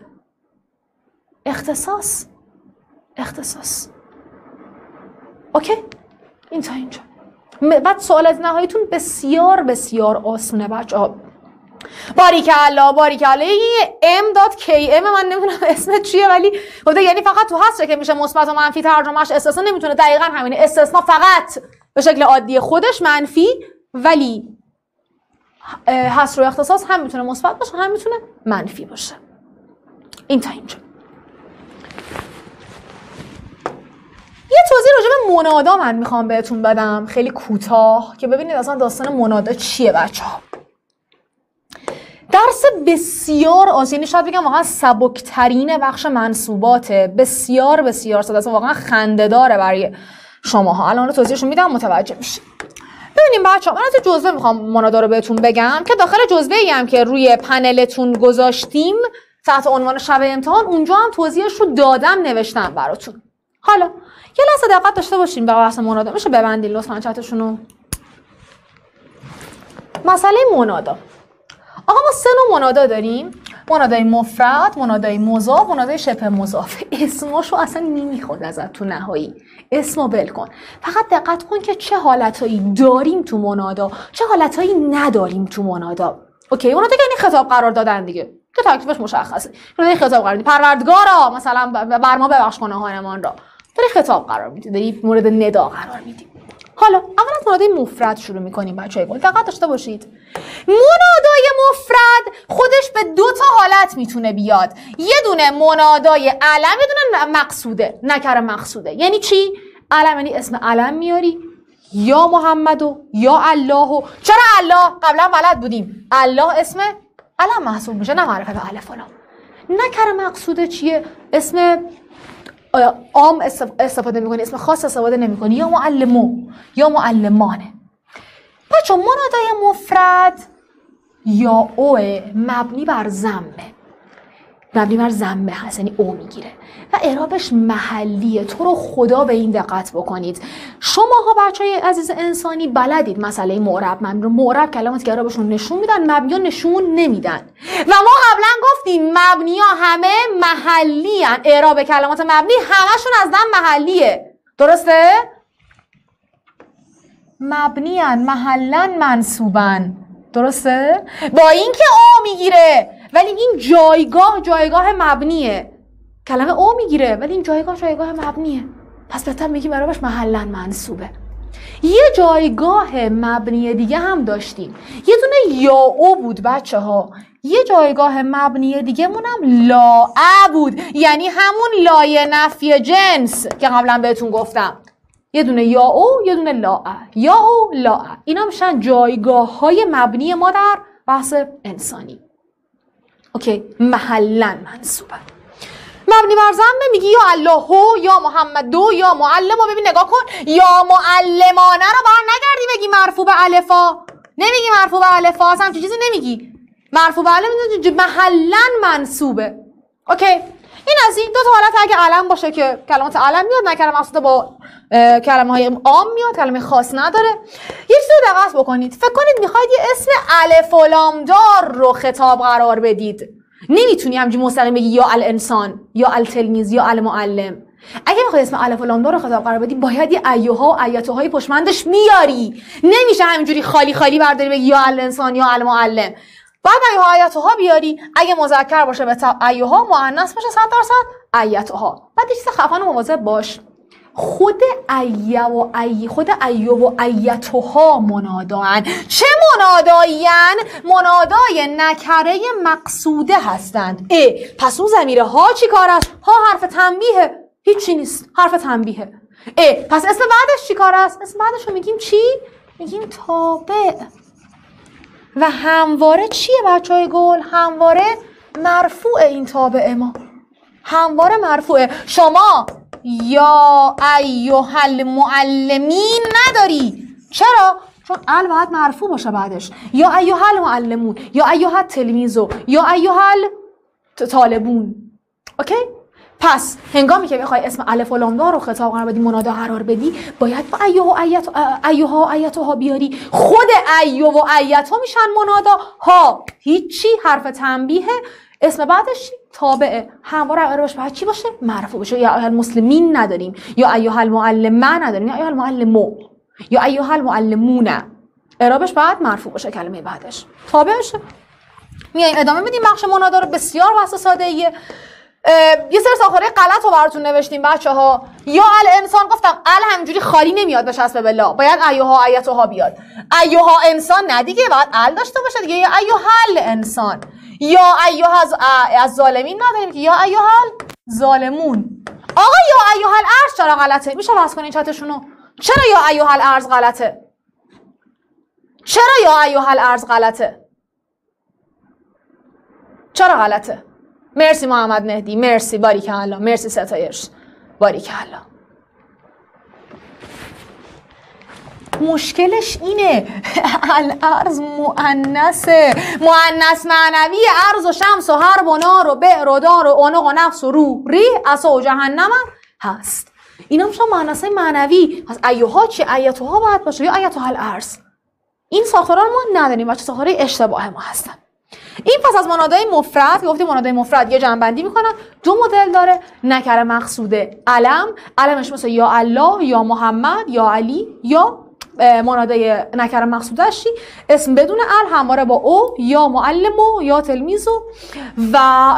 اگر بخوای اسم الف و لام دار رو خطاب قرار بدی منادا بکنی باید بهش ایوها و ایتوها بدی. خود ایوها و ایتو میشن منادا ها حرف تنبیه و اسم بعدش همواره تابع و باید مرفوع باشه. از جنسیت بعد اکسان باشه و اینه و او و ان و اینا نمی‌تونه بگیره تحت هیچ عنوان. اینا نکر مقصود اسمشه. فقط اسمشه نکر مقصوده. بعد می‌رسیم به منادای مضاف بچه ها منادای مضاف. منا اسمش روشه دیگه. منادایی که مضاف واقع شده. یعنی بعدش چی میاد؟ مضاف الیه میاد. بسیار ساده. حواست باشه. از تمام قواعد مضاف پیروی می‌کنه. مضاف چی و چی نمی‌گیره؟ مضاف چی و چی نمی‌گیره بچه ها علا تنوین. باریکلا. چون مضاف علا تنوین نمی‌گیره مسلما منادای مضاف هم علا تنوین نمی‌گیره. چون مضاف نون مثنا جمعش میفته منادا مضاف نون مثنا جمعش میفته. درسته؟ شما داشتی مسلمینم خواستی العالم بهش بدی. نمیشه دیگه یا مسلمین العالم نونش میفته میشه یا مسلمی العالم. معلمی نبوده به علاوه زمیره نمیگی یا معلمینی میگی یا معلمیه نونش میفته. داشتی یا امهات شهدا. آقا این مگه نباید منصوب باشه؟ منادای مضاف همواره منصوبه بچه ها. چرا اینجا شده یا امهات؟ یا امهات؟ دلیلش چیه؟ چرا شده یا امهات؟ می‌تونیم بگیم؟ چرا شد یا امهات؟ چرا؟ نه نه نه مرسی فائزه. باریک الله باریک الله چرا؟ چون جمع های مؤنث خانم آقا بالا سر نمی‌خوان. این در اصل ا بوده ا رو گرفته گفته نه ببخشید من نمی‌تونم ا بگیرم. ای منو لطفا تبدیل بکنید به ا. شده یا امهات شهدا. اوکی؟ پس حواستون به این نکته ها باشه حتما. یه مورد بسیار بسیار مهم وجود داره بچه ها. دقت داشته باشید. خیلی وقتا یه حذف میشه و تبدیل میشه به ا. یا امی شما یه حذف میشه تبدیل میشه به یا ام. یا ربی شما تبدیل میشه به یا رب. تقدیرانش هم که اصلا مهم نیست براتون. اهمیتی نداره. یا امی میشه یا امه یا ربی میشه یا ربه یا قومی میشه یا قومه داخل کتابت عینا هست جملش پس خیلی وقتا ایت یه حذف میشه و تبدیل میشه به کسره. بازم منادا مضافن اینا. بازم منادای مضافن. بچه حواستون به این مسئله باشه. یه منادای آسون دیگه هم داریم بچه منادای شبه مضاف. شبیه منادا مضافه. یا ان بعدش می‌تونه فعل بیاد می‌تونه جار و مجرور می‌تونه ترکیب اضافی بیاد. یا وجیهن عند الله یا تلمیزن الصف ای دانش آموزی که فلان. ای فلان چیزی که ادامه جمله. البته صفت طور ترجمه میشه. یا وجیهن عند الله یا تلمیزن الصف همون شبه مضافه. در آزمون نهاییتون اگر نمونه سوال دیده باشین و یه نمونه حل می‌کنیم فقط در همین که بتونین تشخیص بدین منادا رو کفایت می‌کنه. نه نمی‌خواد که بسازین یا کار دیگه یا غلطش رو بگیرین. اصولا این اتفاق نمیاد فقط در حالت تشخیصش براتون کفایت می‌کنه یه مورد مهم دیگر هم داریم بچه های گل اینجا. ببینید چند تا ساختاره که درسته و چند ساختاره که غلطه رو مشخص کرده. شما یا او دارین. کاملا هم درسته. مثل یا معلمو منادای چی بود؟ بچه ها؟ اینا منادای نکر مقصوده بودن. یا او داری یا ام داری. اینم داری کاملا. یا معلمه مناد مضاف بود دیگه. اینم کاملا درسته. ولی یا ا ندارین بچه ها مگر اینکه خوشمندش مضافان الیه بیاد. یا معلم المدرسه. فقط نمی‌تونی بگی یا معلمه. این غلطه. ولی اگه خوشمندش مضاف الیه بیاری درسته. عین همین مسئله منادای مضاف این بالا میشه. ببین عین همین میشه.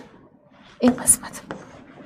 و مورد آخر یا ان هم بچه گل کاملا دارید که همین منادای شبه مضاف. فقط در حد تشخیصش نیازه که مثلا مدل منادا داریم. منادای مضاف پشمندش مضاف له میاد منصوبه. منادای مفرد که می‌تونه نکره مقصوده باشه یا می‌تونه منادای علم باشه. علم باشه پشمندش اسم علم میاد. نکره مقصوده باشه اسم عادی میاد به او میاد. اگه بخوای اسم الف و لام دار رو منادا قرار بدی نمی‌تونی مستقیم منادا قرارش بدی. باید پشت قبلش ایوها ایتها بیاری. مؤنث باشه ایتها مذکر باشه ایوها. خود ایو و ایتو به عنوان منادا در نظر گرفته میشن. ها چیه؟ هیچی فقط حرف تنبیه کلمه بعدش که میشه تابش و همواره مرفوعه. یه دونه هم شبه مضاف داریم که با ترکیب یا ان و پشتبندش فعل جار و مجرور یا همچنین ترکیب اضافی می‌تونه بیاد. این از کلیت مسئله منادا. الان وارد مسئله تستش اصلا نمیشیم چون منظور کارمون نیست. الان کاری با مسئله تست زنی نداریم. میریم که در این مدت باقی مونده بتونیم یه آزمون جامعه خیلی خفن با هم دیگه کار بکنیم. من علاوه بر اون جزوه که گذاشته شده در پنلتون این دو صفحه منادا رو هم براتون کات می‌کنیم و می‌ذاریم. خوبه؟ علی از چون در اصل ربه بوده ربی. رب به علاوه مضاف الیه یه یه تبدیل شده به ا. پس بازم منادا مضاف محسوب میشه. آره. این تا اینجا. این هم براتون می‌ذارم بچه این قسمت رو هم براتون این دو صفحه منادا رو هم حتما براتون خواهم گذاشت. بریم یه آزمون با هم دیگه کار بکنیم. آزمون سال قبل رو. که سریع برسیم. کجاست اینه؟ آره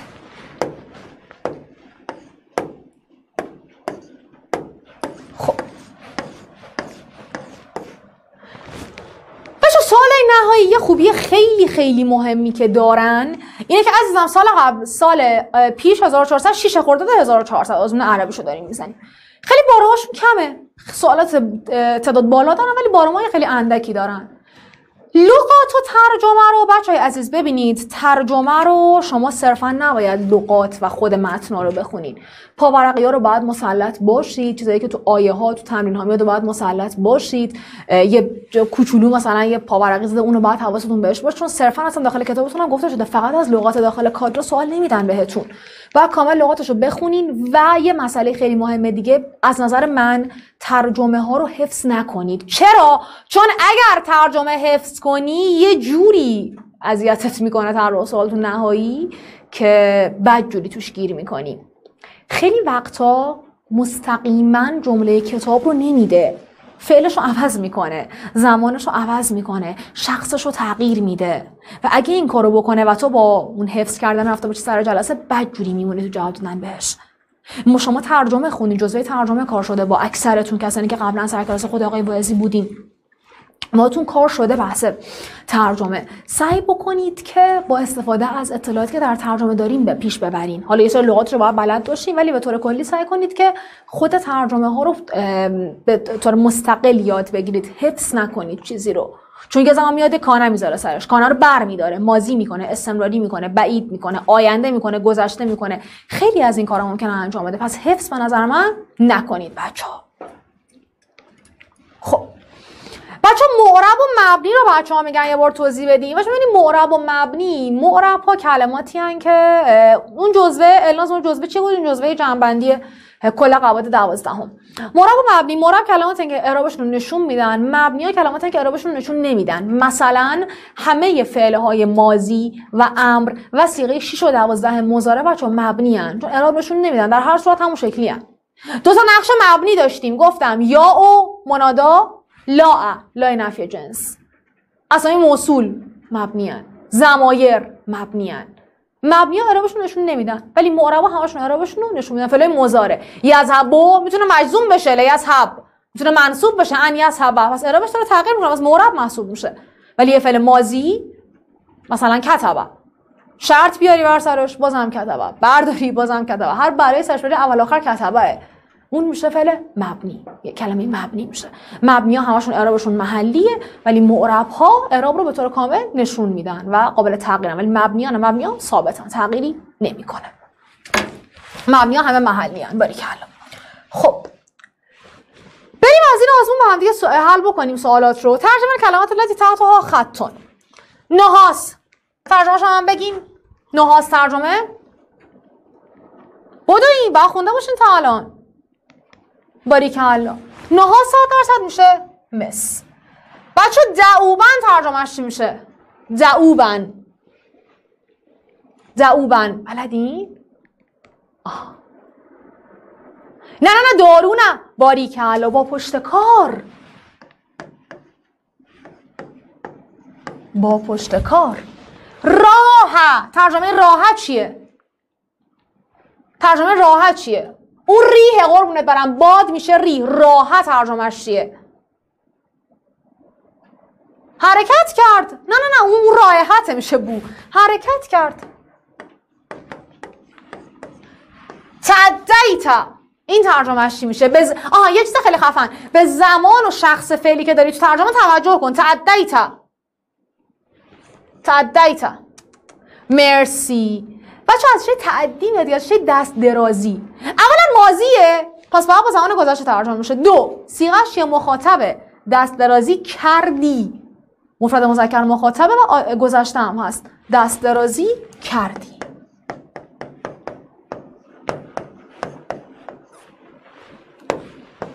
قسمت بعدی. میگه از بین اینا دو تا متضاد پیدا کن دو تا مترادف پیدا کن. پیدا کنیم بچه ها مترادفا کدام هستن. مترادفا. کلماتی که دارید المزاره الدا راغب الفلاح اطلع از صحت. آها. مترادفش میشه مزارع و همچنین فلاح. هر دو میشن کشاورز. متضاد کدام هستن بچه ها متضاد کدام هستن؟ باریکلا ادا بیماری از صحت.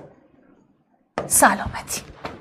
بچه گل زمان دارید برای خوندن لغت. اگر بعضی ها نخوندن می‌تونید جمعش بکنید چون دو روز شما فر... یک روز.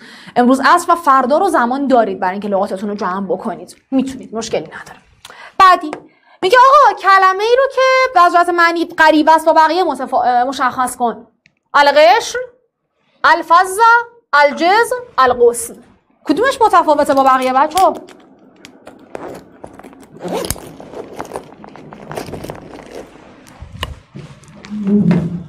کدومش متفاوته؟ باریکلا باریکلا. این کلمه اصلا ربطی به اون یکی نداره. مورد ب کاملا متفاوت هست. یکی قشر و جز و قوس و شاخه و تنه و اینا همشون همخانه بودن.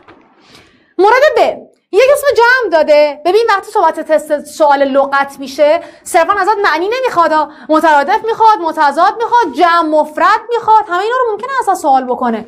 در مورد ب متائم رو گفته مفردش ببینید اصلا مفرد متائم چی میشه؟ مفرد متائم چی میشه؟ مرسی. مطعم ترجمه مطعم چیه؟ ترجمه مطعم؟ ترجمهش رستوران باری که حالا غذا خوری رستوران آشپزخونه بسیار همالی حالا یه سوال چه جور اسمیه؟ چه جور مشتقی؟ اصلا مشتقه یا جماعت اگه مشتقه چه جور مشتقیه؟ چه جور مشتقیه؟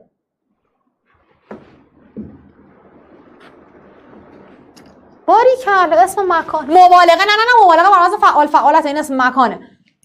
اسم مکان. که جمعش هم مفاعله دیگه بر وزن متن. خب. بچه گل ما یه سری ترجمه داریم. اینا رو من فعلا رد می‌کنم. دوباره باهاتون حل خواهم کرد ولی فعلا رد می‌کنم. چرا؟ برای اینکه برسیم به اون قواعد پاسخ بدیم ترجمه ها رو در آخر باهاتون مرور می‌کنم. مورد بعدی صفحه بعد. خیلی از این سوالا ممکنه ببینید که در واقع فلش بکی هم هستن بچه ها به درس های سال 11 و دهمتون. چطور؟ یه یه صورت سوال میده. خیلی ساده و آسون. میگه اینایی که می‌خوام مشخص کن تو این چند تا جمله. یه اسم فاعل یه اسم مفعول یه اسم تفسیر یه اسم مبالغه. وقتی گفته اسم فاعل مفعول یعنی اصلا براش مهم نیست که چه مزید باشه چه مجرد. بریم بررسی بکنیم. اسم فاعل. کدوم کلمه اسم فاعل بگیرم بچه کدام کلمه اسم فاعل بگیرم؟ بیا اسم فاعل مجرد داده بهمون میشه؟ ظالم این اسم فاعل اسم مفعول چی رو بگیرم؟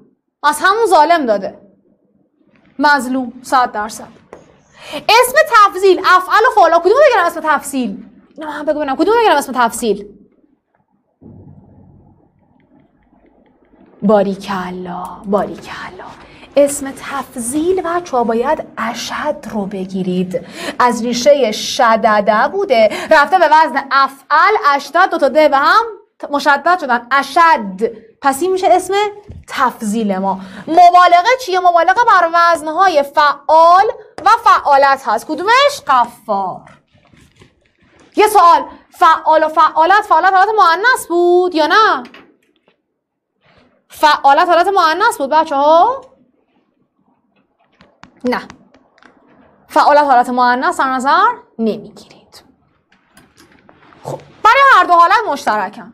مذکر مؤنثی ندارن واو داره میگه ترجمه صحیح رو مشخص کن. یه جمله داده دو تا ترجمه براش نوشته یک باید غلطه اونو باید حذف کنی و اون درسته رو انتخاب بکنی. اسم مفعول کدوم بود؟ عزیزم اسم مفعول. مظلوم. مفعول. مظلوم رنگاش رو تغییر بدیم. اسم تفضیل ای بابا. اسم تفضیل. شد اشد. اسم فائل شد همین ظالم و اسم مبالغه شد قفار این از سوال بعدی. اشاهد و قاسمن و هو جالس و بین شجرت اولا یه سوال. امروز درسشو دادم. این چه جمله ایه و هو جالسون این چه جمله ایه جمله حالیه. حال جمله اسمیه. باریکل پس باید چه معنی بده؟ باید معنی در حالی که بده. در حالی که هاش اوکیه. چه تضادی دارن؟ قاسم رو دیدم قاسم رو می‌بینم. اشاهدو فعل ماضی یا مزاره اشاهدو اسم. فعل ماضی یا مزاره اشاهدو مزاره بابه بابش می‌تونیم بگی باب فعل اشاهدو باب اشاهدو بر وزن یفاعلو افتعال نه. مرسی مفاعلت. فاعل یفاعل و شاهد یشاهد و شاهد مشاهدت. پس میشه قاسم را می‌بینم نه اینکه قاسم را دیدم. میره کنار. جواب قطعا مورد دوم. تجتهد الام تربیت اولادها دقیقا رو همین مسئله من تأکید کردم. به من بگو ببینم اجتهادن بالغن و تجتهدو برای ما چه نقشی رو تدایی می‌کنه داخل این سال برای ما چه نقشی رو تدایی می‌کنه؟ مفعول مطلق مفعول مطلق. نوعی تأکیدی. نوعی تأکیدی. صفت موصوف ببینم ترجمهش کنم یا فقط صفت رو ترجمه کنم؟ به شکل صفت موصوف ببینم یا فقط صفت رو ترجمه کنم؟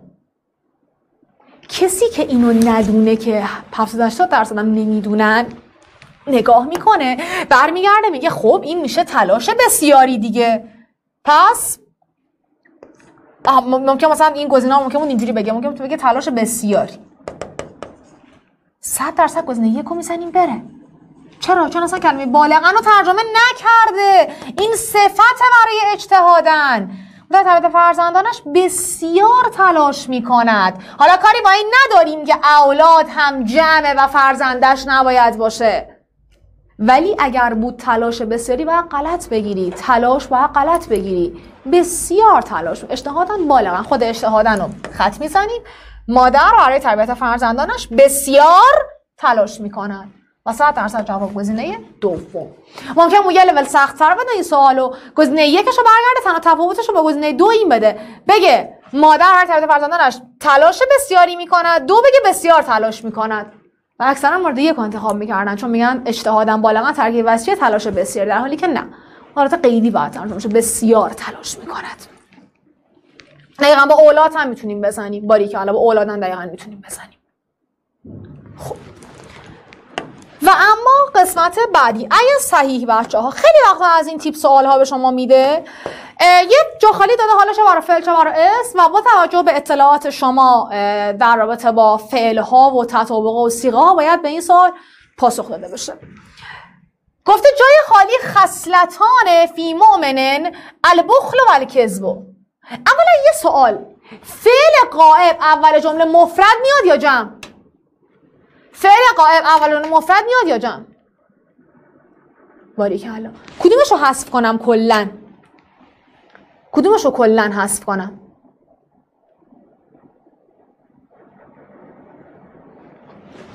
چیه این لا آنه ما نداریم. یه یشتمه یه تجتمع او فعل و فعل از چه جهتی باید با هم مطابق باشن؟ از چه جهتی باید با هم مطابق باشن؟ جنسیت. خصلتان مذکر یا مؤنث؟ مصنع کلمه خصلت. مؤنث یا مذکر؟ مؤنثه پس صد درصد لا او میره کنار لا او درسته. چرا شما گفتم اشارت مؤنث که با هم یکی مشخصاتان مؤنث این میشه مؤنث. اللاعبون الایرانیون جای خالی من المسابقت. رجعه که نداره برمیگرده به لاعبون باید جمع باشه. رجعتم چرا غلطه بچه ها چرا رجعتم نباشه؟ رجعتم مشکلش چیه؟ مشکل رجعتم چیه؟ تتوماتوم تتوماتون نه. اصلا مخاطبه. مخاطب به درد ما نمی‌خوره. رجع او. رجع تو هم غلط تا اینجا. بعدی. کمون الفرق به ترجمت صحیحات. المقل استطاعو استطاعو فعل مازی مزاره بدو. استطاعو فعل مازی مزاره استطاعو مازی مزاره پس ترجمهش میشه توانستند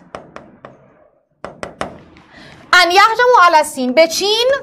ان یهجمو حمله بکنند هجوم ببرند. حمله کنند. بل تراهم خلقو منتینتن آقا خلقو فعل مازی که با او رو هوا چیه؟ فعل مازی که با او رو هوا چیه؟ مجهول باری الله. آبل کنم می‌بینی از گلی آفریده شده اند؟ آیا به جز گوشت و استخوان؟ گوشت و استخوان و پی هستند. هم ترجمه لغت داشت هم ترجمه فعل داشت بچه دقت داشته باشید میگه این محل اعرابی از این سوال هم بسیار زیاد میدن بچه بهتون. نقشه می‌خوان مشخص بکنین. یا عبادی اللذین همین الان بهت گفتم. یا عبادی. عبادی چیه؟ نقشش میشه چی بودو همین الان بهت درس دادم. منادا تمام شد و رفت. ان ارزی واسعتون. ان ارزی ان جز کدوم یک از چیزایی که خوندیم؟ ان چیه؟ بوده بوده بوده ان چیه؟ حرف مشبهتون بالفعل باری که ان حرف مشبهتون بالفعل یه اسم و خبری داره. اسمش منصوبه خبرش مرفوعه. پس صد درصد واسعتون نقشش میشه چی؟ خبر ان اسم ان چیه؟ ارزی مورد بعدی. هاز از سمک. نقش هازا چیه بچه نقش هازا چیه؟ بودو. نقش هازا چیه؟ مبتدا باری کرد نقش هازا میشه مبتدا. خروجن عجیبن. اولا من بگونم یخرج و خروجن عجیبن چیه؟ یخرج و خروجن. یاد چی میندازه؟ بودو بودو بودو. یاد چی میندازه یخرج و خروجن؟ مفعول مطلق باری که حالا حالا خروجن عجیبن. عجیبانه چیکار است واسه اون خروجن؟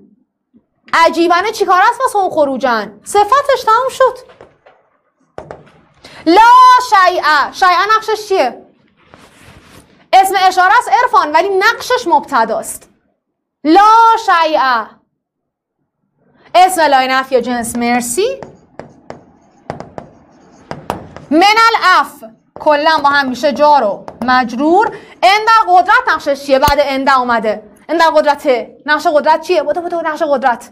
مرسی راضیه. باری کلا ارفان مضاف الیه پس حواستون به این تعیین نقشا باشه بچه ها یعنی وقتی امتحان اسمن دوازدهم ولی تو باید دهم دوازدهم بلد باشی یا فعل بلد باید باشی صفت موصوف باید بلد باشی وصفی همین رو بلد باشیم بچه ها بریم. از اسلوب هست. بهت گفتم اسلوب هست یعنی مستثنا داره یا نداره؟ بدو. اسلوب هست مستثنا داره یا نداره؟ نداره باری که الله برو بریم. پس من کلهم الا ابلیس یه چیز خفن بهت گفته بودم. گفتم اگر دیدی مستثنات مرفوعه رو هوا میگی حسره آقا به این گندگی لعبون لهون مرفوع. مرفوع دیدی؟ اصول حسر و اختصاص. پس قطعا مورد دوم پاسخه. چون مرفوع و میشه حسر اختصاص از من دقیقا حسر خواسته بعدی میگه آقا لطفا ترجمه کن. یک کد بهت داده یه کلید بهت داده. گفته ادامهش رو همین ترجمه برو جلو.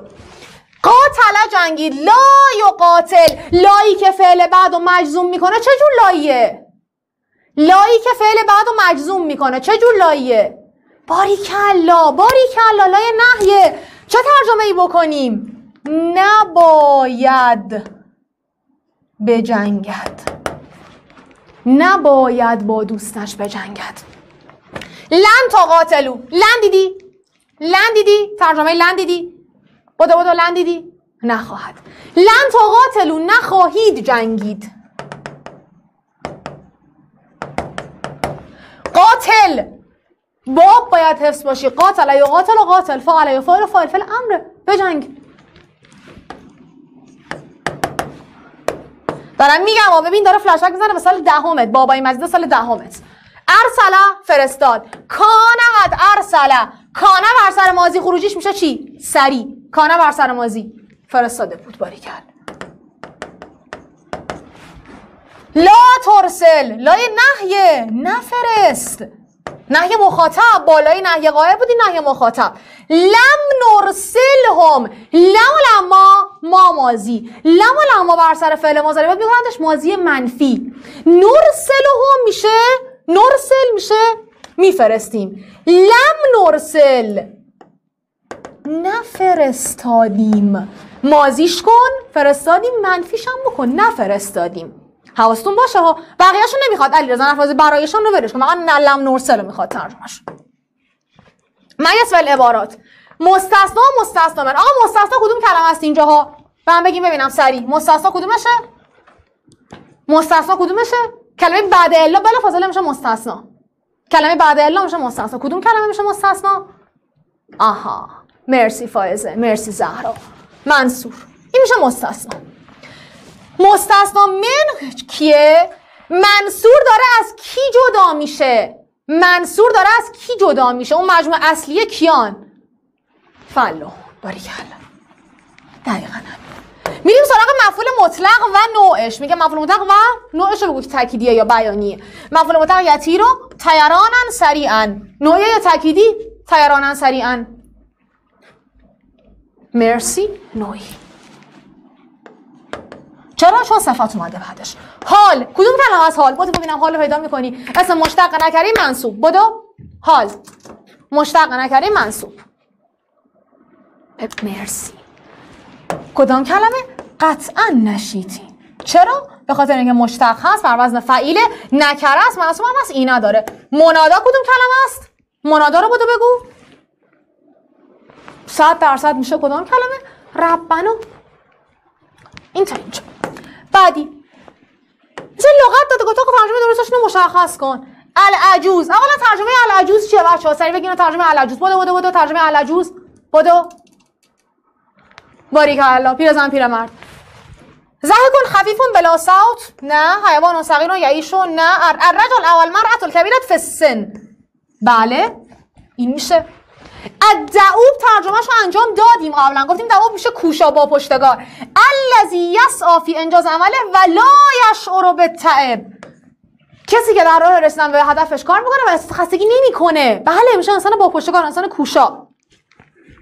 البسمت.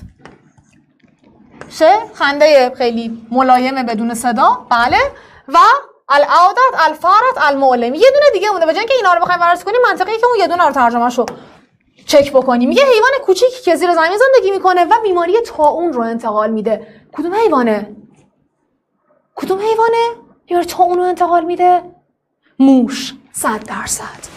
پس میشه فعرت اینو بسیم دو تای دیگه هم که اصلا هیچی به دردمون نمی‌خوره. تحلیل صرفی داده. تحلیل صرفی خیلی خیلی قشنگ داده. تحلیل صرفی که واقعا خنده داره دیگه. بچه‌ای که آزمون کنکور دادن واقعا این تحلیل صرفی براشون جوکه. خیلی خیلی ساده است. لا تطعمو. آقا فعل مجزوم شده. نونش افتاده. لا نهیه یا نفیه؟ لا نهیه یا نفیه؟ مجزوم شده. نونش افتاده دیگه. نهیه فعل نه نه جمع مذکر مفرد مذکر. کلاس هفتم. جمع مذکر دیگه مفرد چیه؟ میره کنار؟ جمع مذکر. المساکین؟ از چپ هم می‌تونیم بیان فاعل و مرفوع مفعول و منصوب. المساکین نه. فاعل و مفعول فاعل و مرفوع مفعول و منصوب. کدومشه؟ مفعول صد درصد. و اصلا یه مسئله دیگه بابا تو تو تطعمو باید بلد باشی که این واو رو بگیری فائل واو بگیری فائل قطعا مساکین میشه مفعول دیگه. پس صد درصد فائل میره کنار؟ جواب گزینه دو. اوکی؟ این تا اینجا. تازه از مفردش مسکین و اسم فاعل هم می‌تونستیم پیدا بکنیم. مثلا مساکین مفردش مسکین و اسم فاعلی نداریم ما. اسم فاعل یا موعه هست یا بر وزن فاعل. پس صد درصد جواب میشه مورد. دوم بچه های گل و اما سوال آخر چیه بچه ها اصولا این سوال رو خواهید داشت در آزمونتون. یه دو خط سه خط جمله میده متن میده میگه که آقا اینو بخون به دو تا سوال جواب بده. ببینیم چیکار باید بکنیم. اقرا نصوص و معجبا اثرات تالیت. یتم توازن فی طبیعت من خلال وجود روابط متداخل بین کائنات الحیات و بیعتها ولکن ظلم الانسان طبیعته و تدخله فی امور طبیعته یؤدی الى اختلال هذا توازن. چی داره میگه بچه ها این یکی دوتا جمله. داره میگه که ارتباط درباره ارتباط بین حیوان نه درک مطلب نیست امیر حسام. خیلی محدودتر از درک مطلبه. در اون مایش چیه بچه ها در اون مایش چیه؟ در رابطه با چی داره صحبت می‌کنه؟ در رابطه با ارتباط بین موجودات زنده و همچنین محیط زیستشون طبیعتشون داره صحبت می‌کنه که چه چیزی این ارتباط رو می‌تونه از بین ببره. داره میگه تداخل در واقع ورود انسان دخالت انسان می‌تونه این ارتباط و توازن رو از حد بگذرونه و از بین ببردش. داره میگه من آلفرد مؤسسه لمن جوایز شهیره و من حسربت قول جوایز ذهبیت. میگه آقای آلفرد یک مؤسسه ای رو بنا کرد برای اهدای جوایز ارزشمند و همچنین ثروتش رو برای خرید جوایز طلایی اهدا کرد. از, از راه ثروتش این جوایز خریداری می شدن بریم سوالات رو بخونیم. بسیار سوالات ساده ای داره. همون نیم جمله هم جواب بدین کافیه. من و متوازن فی طبیعت کجاست بچه جواب این داخل متن؟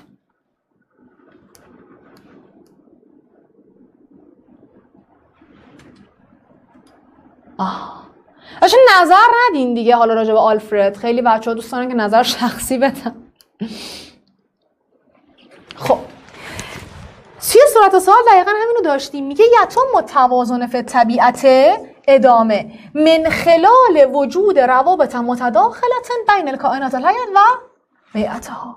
این قسمت میشه پاسخ سوال اول. می‌تونید خیلی خوشگل بنویسید یتم متوازن فی طبیعت الی آخر تا این قسمت. این میشه ترجمه سوال شماره 47 48 میگه؟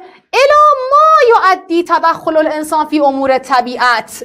می‌تونی بگی تدخل الانسان فی امور طبیعت یعدی الا اختلال هذا توازن. این هم میشه جواب سوال 48 سوال شماره 49 لماذا بنای الفرد مؤسستا؟ چرا آقای آلفرد این مؤسسه رو بنا کرد؟ در خط آخر دقیقا ما توضیحش رو داریم بچه ها لمنهل جوائز شهیرت و این قسمت میشه پاسخ سوال 49 و سوال 50 داره چی میگه؟ میگه ما منح الفرد و لشرای جوایز ذهبیت. میگیم منح ثروت و لشرای جوایز ذهبیت. جواب کوتاه نیم جمله هم بدین کفایت می‌کنه. ارزاما نمی‌خواد از اول برگردین کامل جمع جور کنین ترجمهش رو نیازی به این کار نیست بچهای گل. یک بخش دیگری میمونه. بخش ترجمه اون سوالی سوالی که چندین بخش ترجمه ای داشت. این قسمت. ببینیم بچه ها در سوالات ترجمه اولا که میگم من پیشنهاد می‌کنم حفظ نکنید اینها رو. دونه بدونه قشنگ شروع بکنید به ترجمه کردن چون اکثرشون می‌تونید ترجمه بکنید. فعلا امر رو بلدین از مطالبی که روی زمان فعل تاثیر می‌ذارن رو بلدین و کتابتون رو بخونید حتما. منظورم نیست کتاب رو نخونید ولی حفظ نکنید. برای ترجمه این جملات دو تا جملهش خیلی به نظرم مهمه. بعد نیست که بدونید. این جمله است.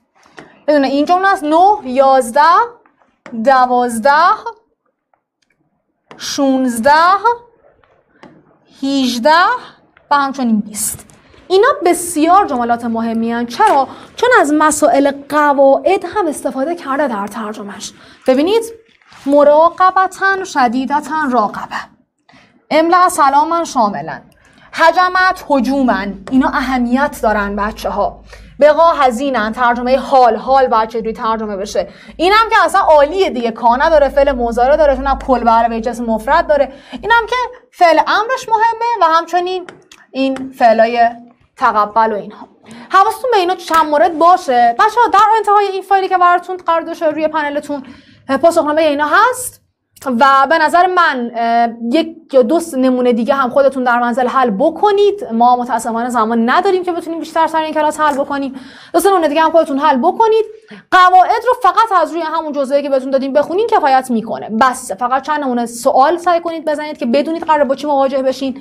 نهایی خیلی آسان تر چیزی که فکر می‌کنیم. خیلی یعنی بچه‌ای که کار کنکور داره انجام میده بسیار بسیار براش ساده میشه سوالات نهایی. بسیار بسیار ساده میشه. و مطمئنم که همتون می‌تونید نمره 20 رو به راحتی کسب بکنید. این تا اینجا. خب. امیدوارم که نتیجه گرفته باشین و عالی باشه روز شنبه امتحانتون. فوق العاده بچه نظری هم که انشاءالله دو هفته بعد کلاسشون با آقای وایسی برای آمادگی امتحان نهاییشون و امیدوارم که همه چی براتون عالی پیش بره. مواظب خودتون باشین. خیلی دوستتون دارم تک تکتون رو و امیدوارم که امتحان خیلی خیلی درجه یک در انتظارتون باشه.